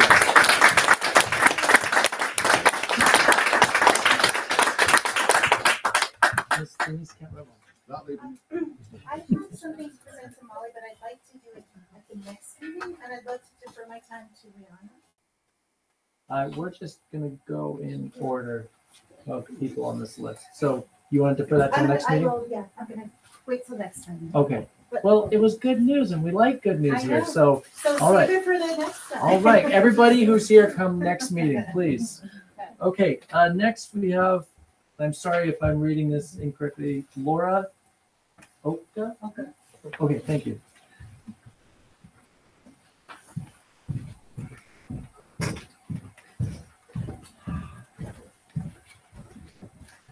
Um, I came here to talk about, um, item eight B that was on the agenda. Since it was removed, uh, basically I'd like to see it not ever come back on the agenda, um, especially in regards to AB thirteen or thirteen fourteen. Um, that's of particular interest to me. It requires schools to notify parents within three days of, in writing if a child identifies as anything other than the gender assigned to them at birth. Um, First off, on a purely practical level, I don't think it's a good idea for a school to have this policy. There is a Gender Non-Discrimination Act. If the school has something in the kid's personnel file that they are of a different, identified differently, that does open up the school to liability. Um, if anything were to ever happen to that kid, the school then has something in writing that that child was not identified um, as strictly heterosexual. My other concern is more ideological. Um, AB thirteen fourteen operates in the name of parental rights, but it's more of a, an attempt at parental control. It doesn't have anything to do with the emotional needs of the students themselves or any support that they might need. Schools are not about the parent, as Rodney Zeiss said, it's about the student. It's about what the student needs, if they need a safe space to explore what they might be. They need someone safe that they can talk to. They need to have that trust that they can talk to someone confidentially. Schools are there for the benefit and the support of the children, not the parents. AB thirteen fourteen is an attempt to legislate a relationship and support between a child and a parent that might not be there. And it does so without regards to the needs of the child or their personal situation at home. And I would suggest that rather than push a school to betray the confidence and trust of a child, that we all go home and work on building that sort of relationship with our children so that they have the confidence and security to talk to us directly. So that we don't need to have a school act as a tattletale. And if that's not always possible, because we are imperfect parents and our children are imperfect, I think we should feel grateful that a school would have the trust of a child so that they have somewhere to go to talk to someone that they need to. So, thank you.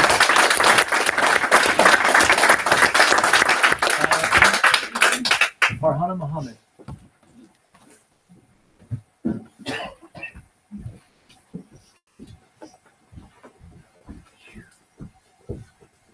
Since you already said my name, hi everyone, I'm Farhana Mohammed.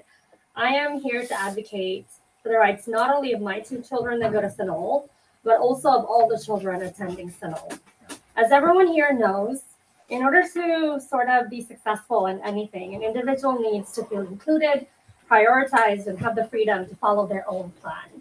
This right also applies to all of your children and mine. I personally come from a very conservative Muslim background. If you guys know conservative, you know Muslim people are conservative. My family moved to the United States from the Middle East to ensure my sister and I had access to education, freedom to practice our religion any way we wanted, and most importantly, the ability to express ourselves without the fear of persecution.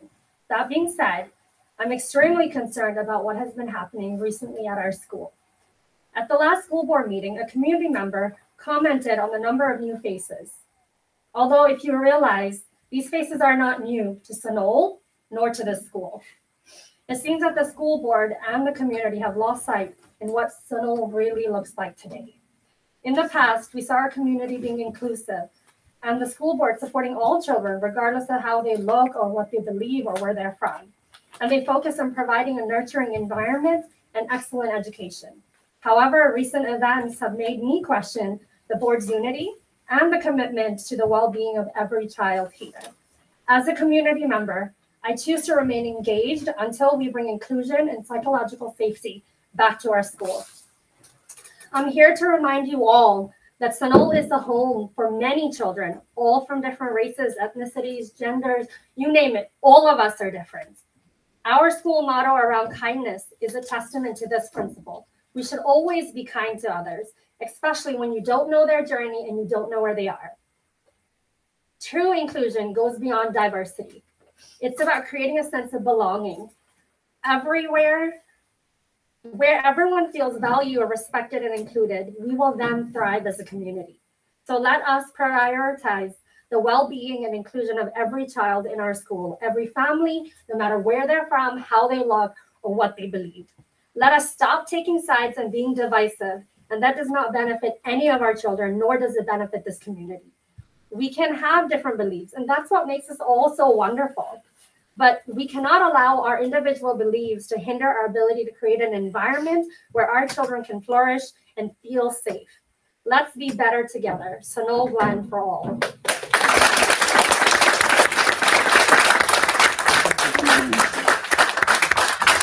Uh, Victoria Coulier.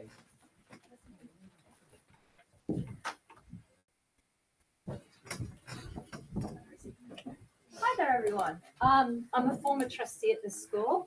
I'm speaking on behalf of my husband Maurice too. He's at the back. he was also a trustee at Escondido Unified School District in Southern California. Why am I here? Because of recent events, I feel that the current board are maybe lacking in the right educational foundational basics of what it is to be a board member, what your legal requirements are as a board member, and how you are required to act in public as a board member. The last board, which was comprised of Denise, Liz, and Mike Picard, took it upon themselves to get masters in governance from CSBA.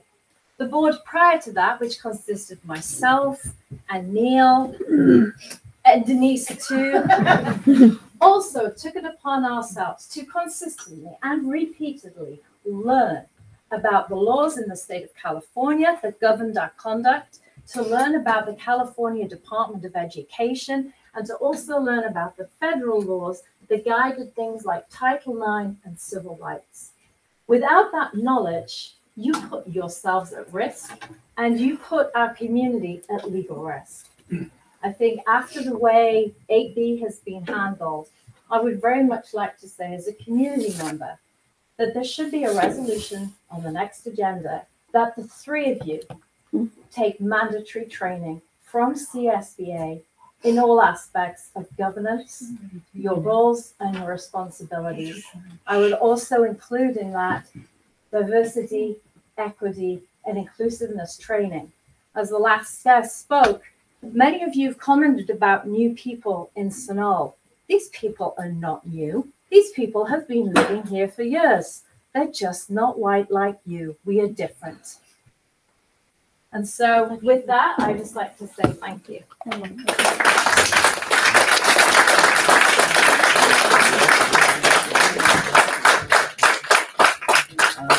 Tal- Talia Chong. Spoke already. She did, okay, thank you.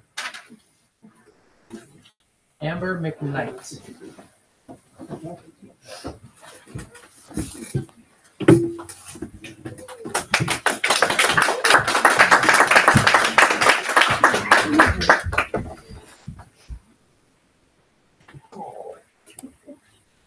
Hello, my name is Amber McKnight. This is my daughter Alice. Before I started to speak, she wanted to say a few words.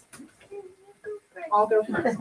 All right. Um, as I'm sure we all know, many people are going to talk about the moral, ethical origins of item 8B. And I'm fairly certain no one's really going to change their minds tonight if they feel very strongly one way or the other. However, the thing that I would like to address, and the thing that I know Alice cares about the most, is not just our school culture of kindness, but also our school culture of making sure we are addressing appropriate issues. Seeing this on the agenda, knowing that it never even left a committee vote at the state level is very confusing because it makes it hard to understand why it was motivated to be on there in the first place. When you think about things as a parent, when we're discussing items that we want to see at the end of the school year, seeing this instead of are we going to reopen campus so K1s can continue the tradition of singing at the start of the school year? Because I can speak for myself, having Alice and TK at the start of the year and having the pandemic hit, those relationships that we were able to build and cultivate by having an open campus, an open, inclusive community, are what carried us through the pandemic. It's what carries me even now being involved in the school, being involved with Girl Scouts. Two families joined this school year just from how much I talk about it. Two more are joining next year, including one in preschool. There are another two that are waiting for their children to be old enough to apply because of how much I talk about this school and this community. On a personal note, I had a cancer scare for my son recently. It was terrifying. We had to go to Stanford, oncology, being able to reach out to Cheryl, to Cindy in the office, to Miss Jang, to her teacher, Miss Garcia, and let them know so they could support Alice through this. I can't imagine doing that in a different school, in a different community. Having this sort of item on our agenda has no place here because this is not something that was ever going to be a viable topic for our school when it's not even in the committee. Oh, she wants to talk now. What would you like to say? We have 20 seconds. If Sunol Glen supports equality and shows everyone that we're supposed to have equality, if the students learn to spread equal kindness to everyone, if they're gonna vote against transgenders, I vote no.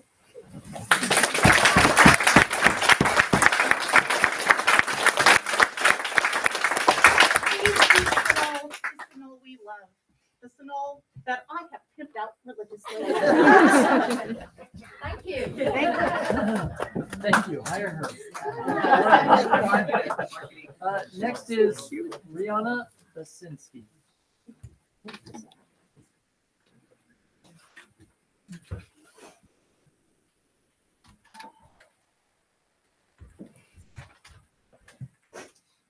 I'll start by saying thank you for taking me the, the agenda. It's been an emotional three days for parents and me personally as a human being. So I'm going to read my statement. I tried to change it. I hope it makes sense. My name is Rihanna, and I am a parent at Sunol Glen School. I am a 40 year old, not fully out bisexual human. I've only come out to a few friends. I choose to not tell my family as I am not comfortable in doing so for personal reasons. Now here I am, fearfully and nervously coming out to a room of strangers. And why do I tell you this? I tell you this as a perfect example to why this insensitive topic, like the one removed today, is not in the best interest of our transgender and non binary youth. It is such a terrifying and personal choice to come out to someone. Every time, might I add, it's not just once. And for some, it is the only sense of control we in the LGBT community have. I ask you, why did you feel this was necessary to put on our beautiful school's agenda? Why was it so important? Our school's motto is kindness. I am disturbed and disappointed to have seen this on the agenda. This is a predatory, unsafe policy that should have not been brought up ever at this school. I urge you to educate yourself on transgender and non binary statistics if you are truly trying to help our children. 40% of transgender people attempt suicide. Over 80% of transgender people consider suicide. The best way to help our transgender and non binary youth is to love and accept them for their true selves and not to break their trust and out them, potentially causing an unsafe home environment.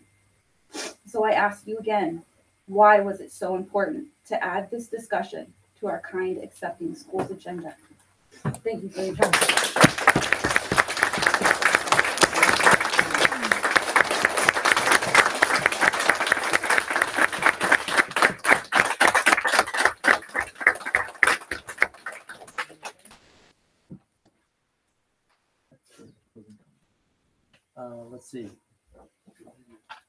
Not on the agenda. We have, uh, Miss Margie Quarry.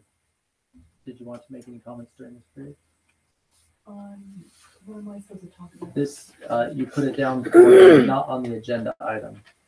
But maybe this is just a duplicate of the other one? I think it's a duplicate. Okay.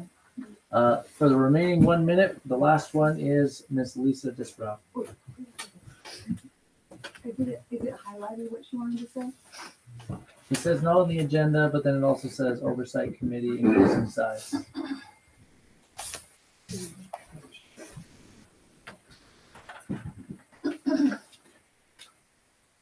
Good evening. Excuse me. I'm Lisa Disbrow. I'm a retired teacher. And uh, I just wanted to show you this. So I wanted to start with this. Every life is precious. Can you state where you're from? Yeah, I'm from Moraga. I'm a retired Contra Costa teacher of 40 years. You don't vote here. I don't vote here, but I'm a citizen here and my Let's, taxes. let's, stop. We need order. Please respect. please Thank continue. you. Just like you are entitled to go to any school board in the state of California, so am I. I'm exercising my freedom. Mm-hmm. I want to remind you that the Supreme Court of the United States and the California Supreme Court recognize that every child is entitled to a quality education. My mentor is Jaime Escalante. I'm a bilingual teacher. And he said that every child needs a quality teacher and a quality education. And I believe that. And I love hearing that from this community tonight. I want to talk to you about We only gave her one minute. That was all. Yeah, that was last. Sorry, 20 we're gonna minutes. Time period to twenty minutes. Well, can we just, can we, I, I think that's wrong. No, I'm sorry, we're It's 20 following minutes. the. You the guidance, started so, it, let her finish. Let her finish it. uh, Thank you very much for your comments.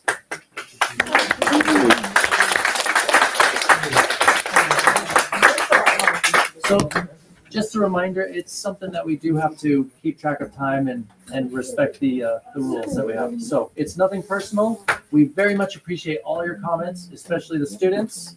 This is why we're here and we love to hear from you. Thank you very much. Uh, we'll move on to items for report, discussion, and possible action. Eight A is report, discussion, possible action to approve the public disclosure of the collective bargaining agreements with AFT Local one four nine four in accordance with AB one two zero zero, GC three five forty-seven point five. Did you want to present anything on this? Uh, we have Miss Kara here. Kara, did you want to share anything? It did run through, uh, as we explained in the past, when we do negotiate, it's, uh, beholden, the, the district is beholden to be able to demonstrate that the school can afford that raise. So, and that includes the AB twelve hundred, which means that they have to show what the raise, the impact on the raise on this current year's budget, but not only this year, next year, the two years out, so next year and the year after that.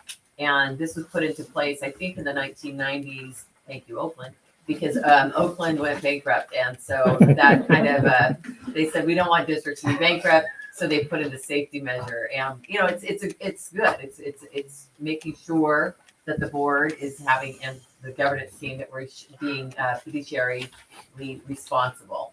And so, yeah, we're pleased to, to- that we were able to provide a significant raise for our staffs and um, we're able to afford it. That's even better. So, yeah, and I want to thank our union presidents that are both here, Elizabeth Hartmouth from CSEA and Chris Wheeler from AFT. Do you guys want to give a speech? But thank you.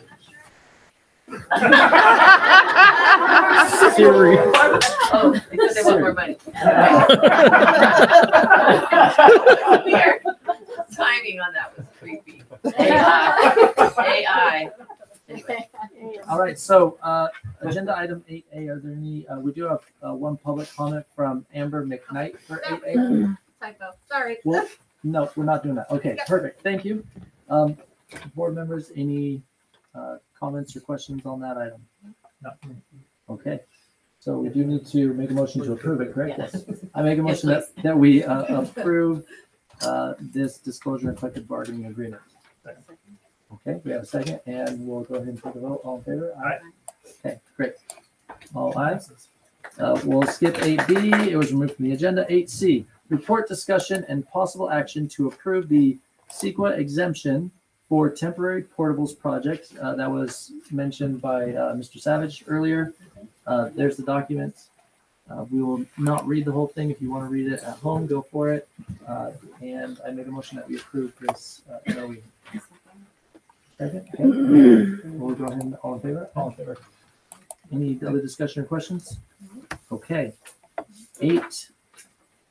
Uh, sorry. Rodney Zeiss, did you have some comments on that agenda item before we move on? Yeah. Okay. Sorry, I only. It's all right. Just want to point out, just trying to keep an open mind, and then point something out. So we're talking about moving to portals because he's rush out, okay? And I'm just pointing something out that I've said I'm going to all the meetings and attending, and I kept my mouth shut. This has popped in my first thing when I heard it, I went to, the- from the portables. You have an extra, you have two offices you're using. You only need one. Why you have to put two portables? I mean, I thought this the first day when it was brought up, and I'm like, I'm just of watching what you guys are doing. But you literally have two offices.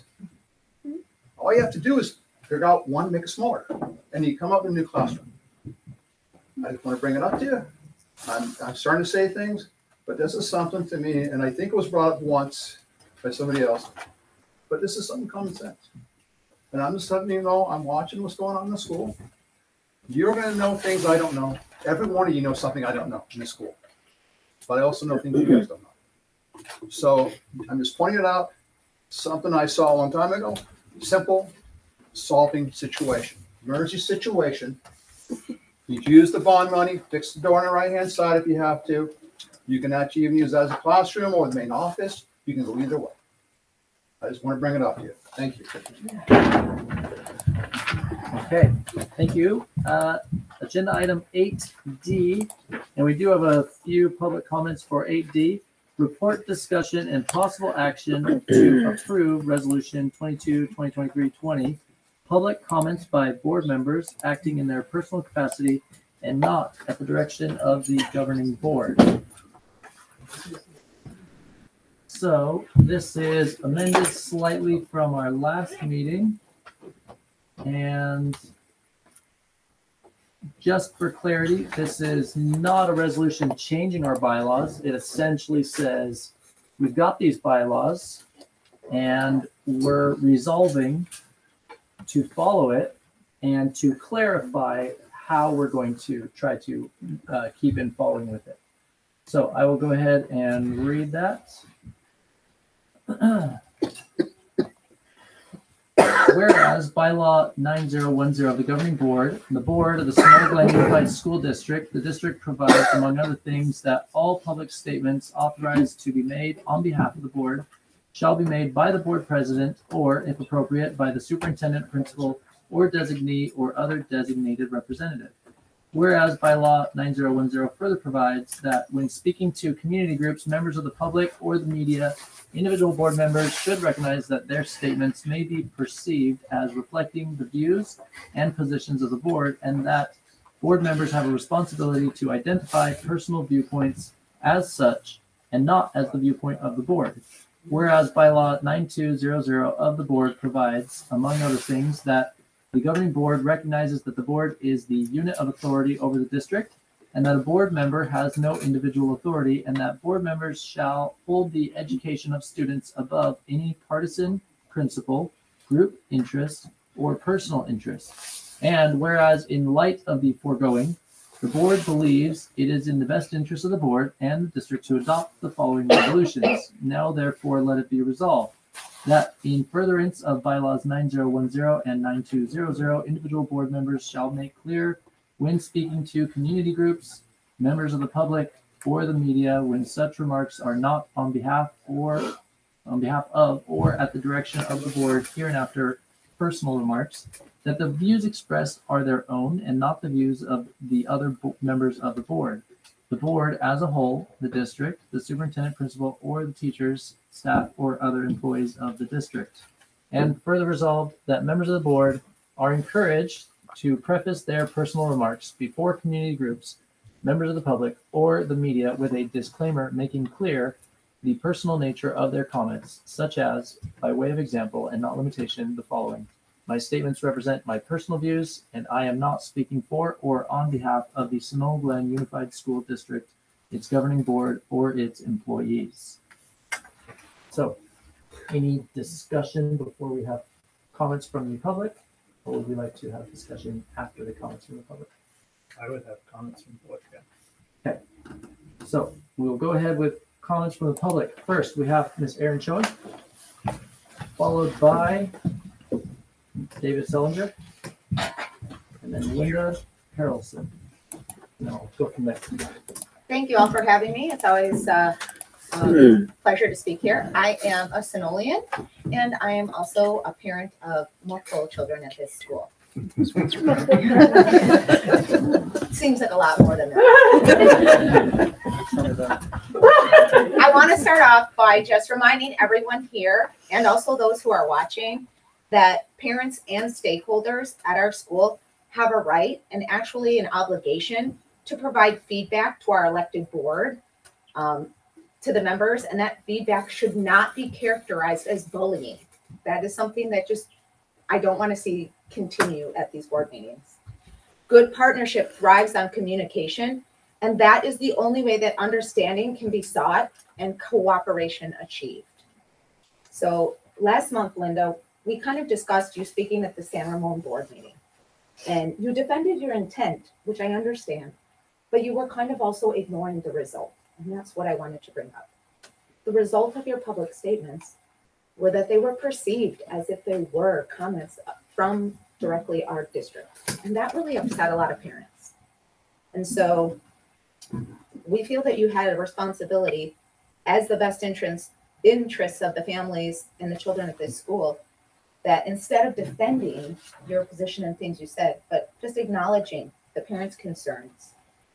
That way we can create an environment of trust and cooperation with them. So last month I spoke on behalf of 41 parents who were um, upset about what had happened and who were just asking you to correct your statements um, with just a statement of clarification and apology, not necessarily a defense. So those parents really did feel dismissed last month. And I'm here again, offering you the opportunity to extend the olive branch and make a statement to help rebuild that trust with the parents. So the proposed um, resolution goes very far to identify what we would like. Voting for that is a really good start. But um, if you can find it to make any kind of public statement to kind of clarify that and really start to mend the bond um, between you and parents and everyone involved, that would go a long way. Thank you, everyone.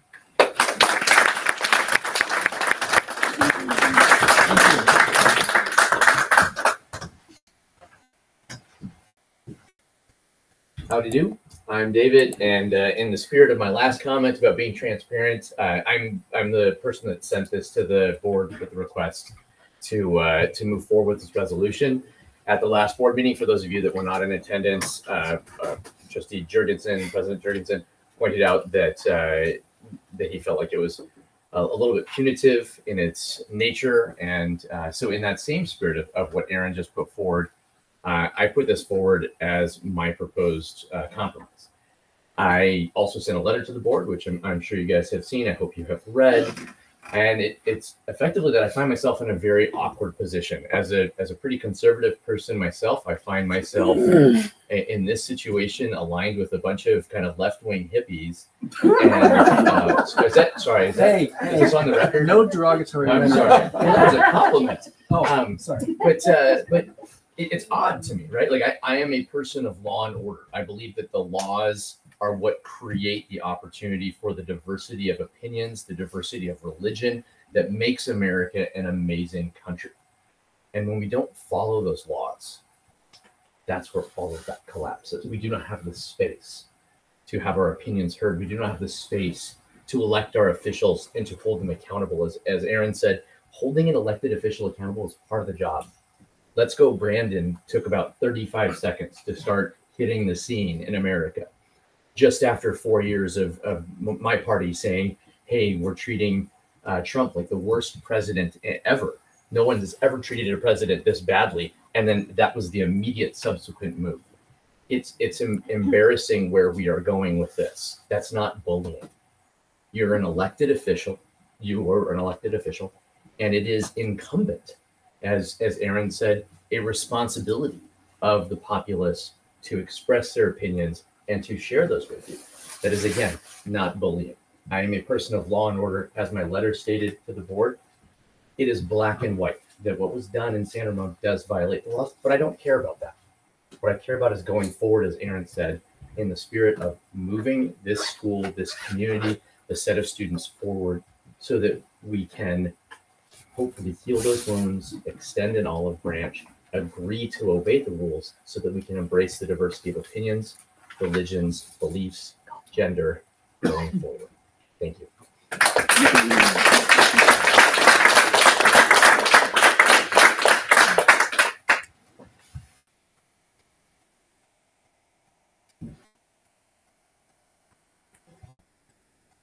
Yes, Linda Carlson. Um, my name is Thomason. Harmison. Yes. Sorry, I read that incorrectly. Um, thank you for the opportunity to speak with you. Um, so, uh, this is a very interesting conversation and I will have to out myself and say that I'm not from Sunol. I live in Pleasanton and like Cami, she has fun with FEMA. Oddly enough, I have fun with CBOC. And, uh, I also have to tell you that 2019 was not a good year for me. Um, I had two medical disabilities. And then there was this funny thing called COVID. And to get um, help was very difficult, especially in physical therapy. But here, the blessing was webinars. I could attend any meeting in the state or the country and start learning. Because when you have two medical dis- disabilities, my brain went to mush. And so um, I don't have children. I don't have any stake except that I pay property taxes. And I would tell you, what I see in most school districts is that they have problems. Drugs, absenteeism, um, declining enrollment. Um, you know, and they don't like to talk about it because they have to admit that it's a problem. But I like this gentleman here. I like to step in and help where I can. So what's interesting is what brought me here was I was at the San Ramon meeting. I worked in uh, for IBM in San Ramon. Uh, I, I I know lots of people in that community, and I went to that meeting. It was very very interesting. Um, I I don't go to guess what I don't go to Pleasanton Unified School District meetings, but I've started to because I found out they have a board policy committee. They have a curriculum committee. I went and asked them, "What do you do? What do you talk about?" Um, and so the San Ramon was highly uh, volatile. There were media there. Um, but uh, I'll, I'll divert from that. The only thing, let me just say, the one astounding thing was the woman who's an educator got up and said, let's push all of this aside and talk about the appropriateness of the books. You know, you can order from Amazon if you want them, uh, you know, but I'm not here to debate that. But I also will tell you, I applied for the CBOC. You don't have to live in the district to be on the CBOC committee. Um, I've been, you know, studying those. And the other reason is Pleasanton Unified School District has what, fifteen schools? You guys only have one. I'm intrigued by two hundred and seventy students, two hundred are from Fremont. How does this bond thing work? But the interesting thing is, I need to get a, to get around. Can you imagine me going out for a survey for fifteen schools? But anyway. You have Uh, eight seconds. Right, so the interesting thing is I looked at your handbook for um Board of Trustees. When I first got it, I got to the page of the organizational chart, but The It time's is- up, sorry. it's out of date. Thank you. Okay. Linda Sandiford. I'm going to pass. Okay, thank you. Uh, Margie Corey. Name.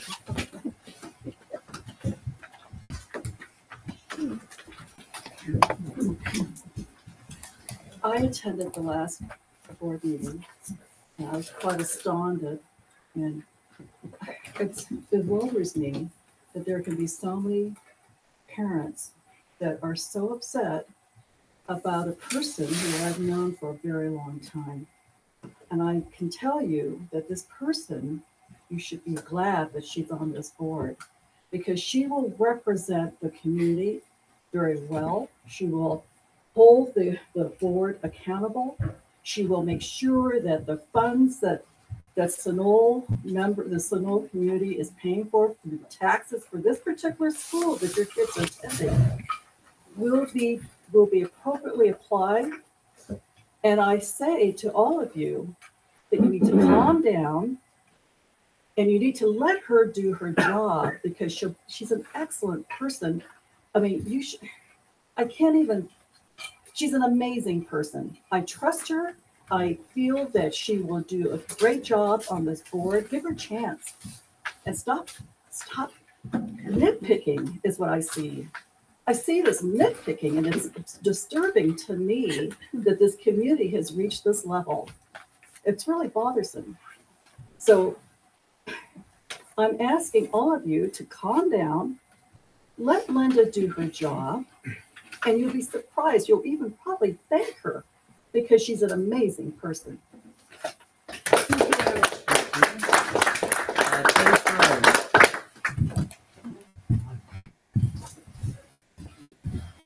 So I want to say, this isn't only about, um, that you shouldn't talk about uh, being on the board. This is about trying to shut out reasonable conversation. After the lengthy attack that took place at the last meeting, I was hoping this issue was behind us. The points were made very clearly. The board member was put through repeated abuse and disingenuous presentation. She agreed to be more careful in the future. That was punishment enough. The resolution, the resolution itself now seems to mimic what's already on the books, and by the group of people bringing it up again, even in its modified form, demonstrates a deep and dark desire for punishment against the only female board member any way they can get it. So even though you took her name out of it, by supporting it, you keep bringing her name back into it. And it's bullying. It is bullying. Yes, it's bullying. It's bullying. All right, next is Mr. Bob Frillman.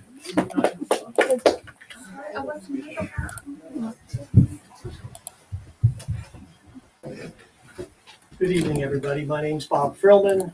Uh, I'll start with street cred. Uh, my family's lived here in Sunol for 40 years. Uh, we've been very, very supportive of the school over the years. I was one of the evil cabal that uh, fought against Measure J for a number of personal reasons. It Has nothing to do with the few hundred dollars a year it will add to my tax bill. There were some other issues, transparency issues that I found fault with. Uh, I wasn't going to come tonight, and in spite of my position against Measure J, Andrew keeps me on his mailing list. So I was able, I was able to read a a letter that was sent in by a member of the community. Uh, that letter included a, a statement that they wanted the, this board to censure Linda Hurley, who's a, a, has been a friend for many, many years. And when I read that, I thought, what is going on here? As long as we all stood up and put our hand on our heart and pledged allegiance to that flag, to censure her or to throttle her free speech goes contrary to every single thing about that. Every single thing, regardless of the rules that you guys make up. Those are the ones that count. That's the ones that count. And that's all I'll say about it. It, it- you've got a person here uh, who who loves this school, uh, has had kids that have attended the school. She will work her tail off to make sure that this school thrives. And if if reasonable questioning of actions by other members of the board is something that people don't like, get over it. You need to become a child of the sixties and question authority, is what I'll say. I'd like to make one final comment. The young lady who gave the, the very emotional speech uh, earlier. The reason that the issue in question was on the agenda, difficult, unsavory, unpopular things need to be discussed. They need to be put out there. They need the full light of day to be either adopted or thrown away. And thank God we threw it away, but, but that's the reason it was on there. Thank you very much. Margie Corey. Wait, we already have you. Showing it. Did I? Got a choice. Okay. Keep it down back there. All right. That's all of our public comments for eight D. Uh, are there any comments from board members? Well, I started out having a, a response to a lot of the, the mudslinging. And I feel actually that many wrongful, inaccurate, and mean-spirited things have been said about me and what my intentions are. And my intentions have been very different than those that have been publicized. I love this school and I love children, always have. I ran a nursery school for six years and I've taught and I've been involved with nursing and, and I, I love people. Um, when I talked in San Ramon, it wasn't for a friend. I, I did so for a friend. And, and let's get this. This was February. I've been sworn in in December. There's a very sharp learning curve to all the things you have to learn here. And I did take the master's of governance class. And, um, you know, I didn't think about stating that I was not representing the school. It didn't even occur to me. I wasn't saying anything that I thought was representing the school. I thought it was pretty darn clear that these were my opinions. And I was reaching out to the board that was there and saying, we are dealing with the same issues. You know, we're, we are all here to serve our constituency and the children that we, you know, are representing. So it didn't even occur to me that I was representing, it will from here on out for sure. Point taken. But um, I also have been accused of lying about uh, a board, a committee, a parent committee that adopts our library books. And I had heard Marlene say something that led me to believe we had this parent committee that chose the library books here. So I did um, mention that we had a committee and, and apparently I was mistaken. I did in fact text Marlene that very night, about five minutes after I left here and said, I didn't realize that, you know, you hadn't said that. I, that was my understanding. And she just gave me a thumbs up at the time and then said she hadn't heard that. So there was no intentional lie. There was just a misunderstanding. Um, I do want to apologize for those people that took this badly. There certainly was no ill intent. And um, I hope, you know, when when we are tearing it apart at one another, and a lot of the the letters to the editor were really nasty. And and again, they credit me with intentions I did not have. Um, this tears it hurts me but it also hurts our community. It really has hurt our community. Contention reinforces the false notion that confrontation is the way to resolve differences. It never is. Contention is a choice.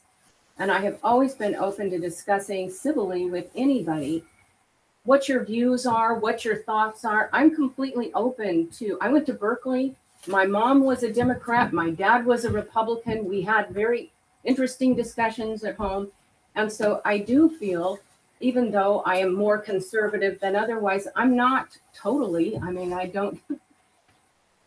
I'm I'm completely open discussing, you know, open ideas, and my heart goes out to people who are struggling with these issues. The reason I put 8B or, or part of it, the 1314 on there, was to discuss because schools across the nation right now have teachers and schools that are getting caught in the crossfire of this.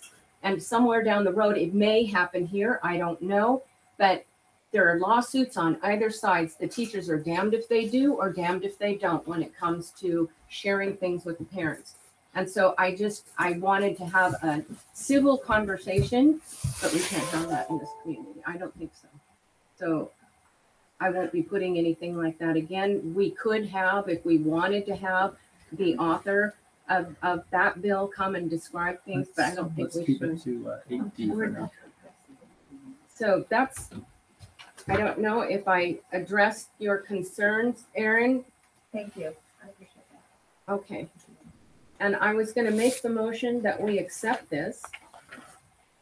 Right. This resolution and hope that I can have a better relationship with Mr.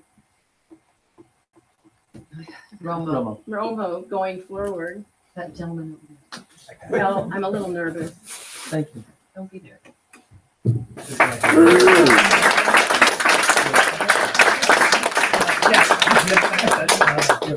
I will say that I uh, appreciate that you apologize for um, the statements. I think that takes a lot of um, strength of character, and I appreciate that. I think that parents here appreciate that too. Uh, I think the policy, or sorry, the resolution um, is, as we talked about last time, and I think it's reflected again this time, that it is a, a forward-looking uh, resolution with respect to how all of us um, should interact uh, in public. And I think that was the intention, and I think it still stands, and I think it's worth seconding and, and voting on. Great. So we've got a motion, we have a second. Um, and before we vote, I will just say, um, I think we're, we're all trying our best. And, uh, so we do resolve that we will continue to try to follow these bylaws and to not misrepresent the board, ourselves, or the community. So, uh, we'll go ahead and vote. All in favor? Aye. Aye. Great.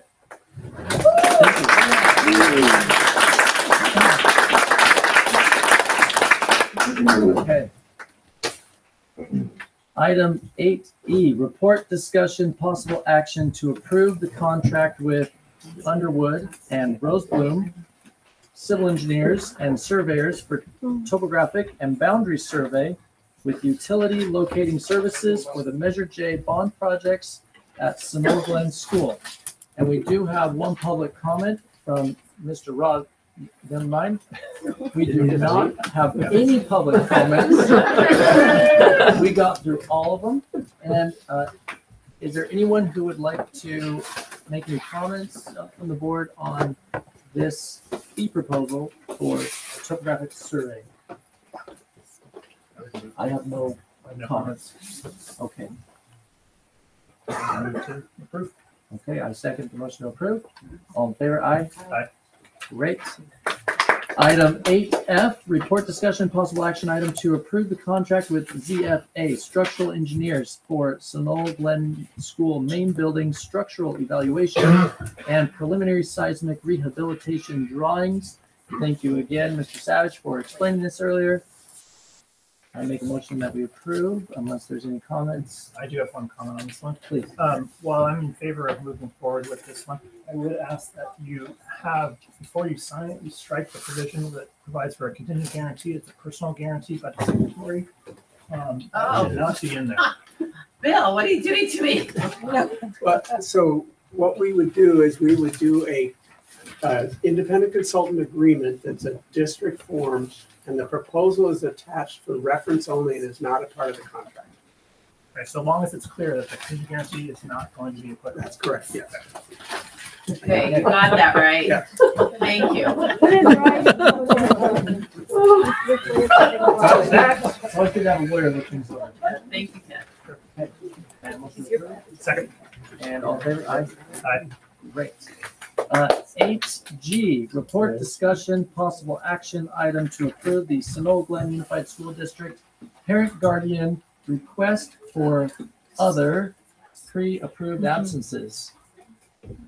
Any discussion? All right, a motion that we approve? Second. All right, and all in favor, aye? Aye. Great. And now home stretch consent items. A, we're gonna do it all at the same time.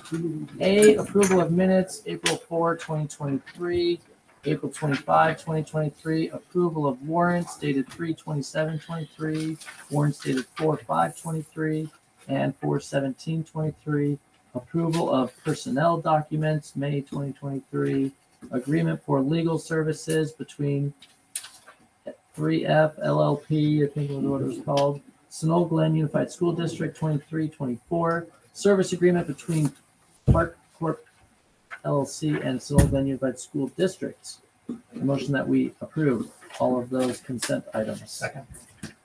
All right, any discussion? Okay, and all approved, aye. Aye. Great. Uh, calendar, our next board meetings, we hope to see you all here. It's been way more exciting. June thirteenth, put it on your calendar, and we are lucky we get two meetings in June so that we don't get to enjoy summer too much. June twenty-seventh also, but in July, there is no meeting. All right, I motion that we approve those calendar meetings. All approved, aye? Aye. Great. Closing comments. Any closing comments from trustee Hurley? Thank you. Okay, any closing comments from Mr. Gilmore? I do. Um, I want to, uh, just for the record, make clear that with respect to the provision relating to transgender, um, disclosure, um, to parents, I am not in favor of that. Um, I categorically believe it's wrong. And I think it's important that you know, we support people such as Rihanna Baskinsky. Uh, it's important that schools be uh, open and safe places for students, um, especially if, as I think it's uh, known in the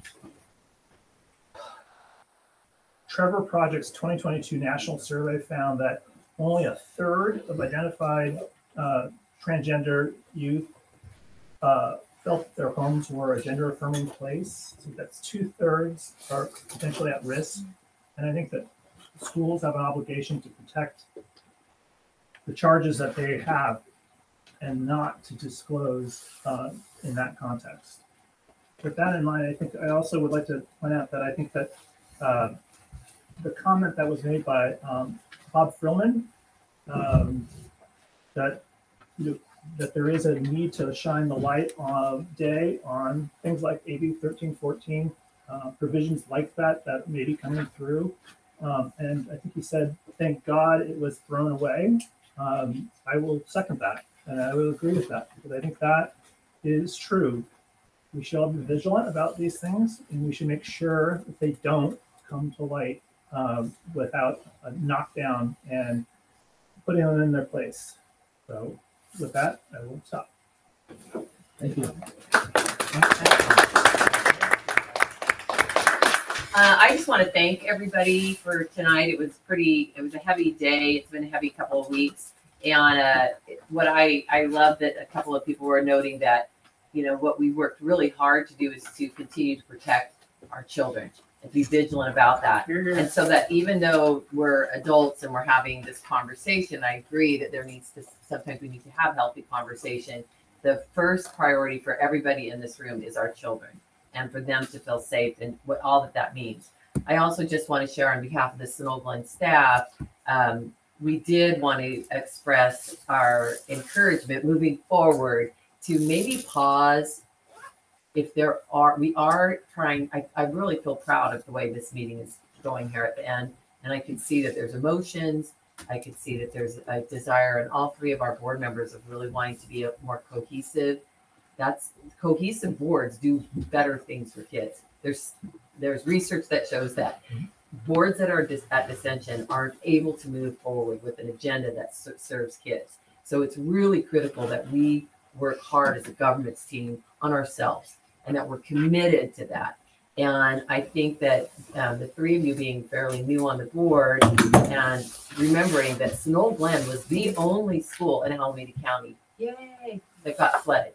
And the work involved, I know, the, the award we didn't want, the work involved in that is so exhausting. And the goal is to get the students back into their programs and the teachers not Yeah. in art and here. Uh, that is critical. I have working with Bill, we're streamlining, we're moving, we're trying to get that. And at this critical juncture, this might not be the best time to bring in assembly bills that aren't necessarily impacting our school. If it's something that I, we, there's an assembly bill about TK, that impacts our school. We might want to talk about that and how, what does that impact our school? Because that's more kids, that, that directly impacts our school. But some other ones, on behalf of our staff, we're all the teachers and all the classified staff, we, we had a conversation. And we said, golly, we really wish the board would maybe calm down on those items at this time. Uh, please keeping in mind that the flood and that impact and all the work that's there, there's plenty of work. That needs to be all of our focus and attention. We ask that you join us in staying focused on positivity, kindness, and providing a wonderful, wonderful learning environment for our amazing students.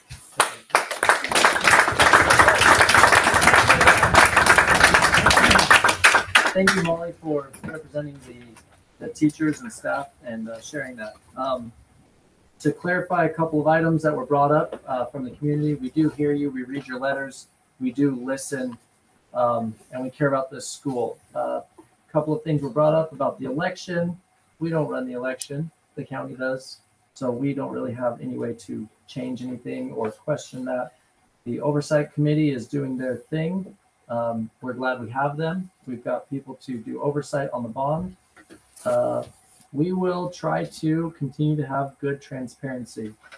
Um, Kind of with that, with the oversight committee, the oversight committee has publicly available meetings. And they're open, you can go, you can hear I from them. attended. I promise Right, you it's There you true. go. You were in our audience. So- So all, so anybody out there who is concerned about not knowing who the oversight committee members are, what they do, what they stand for, et cetera, et cetera, what their rules are, should go to their meetings and participate as, as you are allowed to and, and you have every Yes. right to. Yes. Thank you. The, that, that meeting is open as well. It will not be nearly as fun as this meeting, but. Um, The, as far as transparency goes, we'll, It also we'll has. try, sorry. It's also required to be under the Brown Act, which surprised me. Okay, Which so, means that so we're gonna go ahead and try to be more transparent with agenda items and maybe include a little more information about why it's there, especially things that would potentially be upsetting to people. We'll try to do better. We're sorry if that transparency and information wasn't there. Um, we, let's see, there were a couple others that I wanted to quickly uh, include. I love the the comments about inclusion and kindness and being here for all students. Um,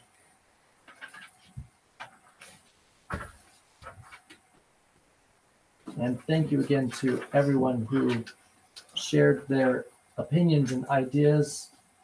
Uh, let's see. I, He's I, keeping you all here on purpose. hey, you kept me here for four hours. a couple more minutes, I get to say a couple things. Uh, thank you for attending the meetings, and yes, I agree with the idea of calming down. Um, on all sides, if we can try to have a little more civility, kindness in the way that we talk about it. The irony is sometimes people say we want kindness, but it doesn't feel very kind. So let's try to work on that and calming down uh, on both sides. And when items are brought up that maybe are sensitive, do it in a more gentle way. Um, and my kids saw me wear this tie a few weeks ago, and they said, "Dad, that's Sunol Glen colors. You got to wear that to the next board meeting." So this is now my, although it's from my my uh, men's chorus uh, undergraduate uh, school, it now can be like a Sunol Glen tie also. Wait, you, you're singing us out? I'm not gonna sing, no. I heard, we heard that, right? Um, we do want uh, Sunol Glen to be a safe place for all kids and all opinions. Um, and and I, I appreciate that. Although coming into this meeting, I thought it would be horrible. It ended up as a discussion, hearing each other, and and things went well. Thank you for following the rules, the time, that sort of thing. Um, and part of the reason my four children are at this school is because I trust the educators. Um, I don't need to come in here and watch what they're doing every single day because I trust them. I, I like them. I think they're doing a great job. So thank you to the educators in this school. Um, the, the board, the board is here to try to help and not to be a burden. And so that's what we're trying to do. Um, we, we, we love and expect and, and accept all people. We would like kindness to be preached and continue to be preached here. And we will keep that up. And thank you again for all coming. We, we enjoy seeing your faces. Wait, wait, last thing. Oh. How about our students? I just-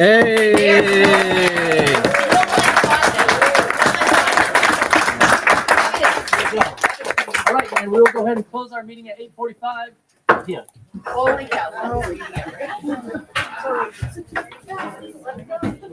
cow.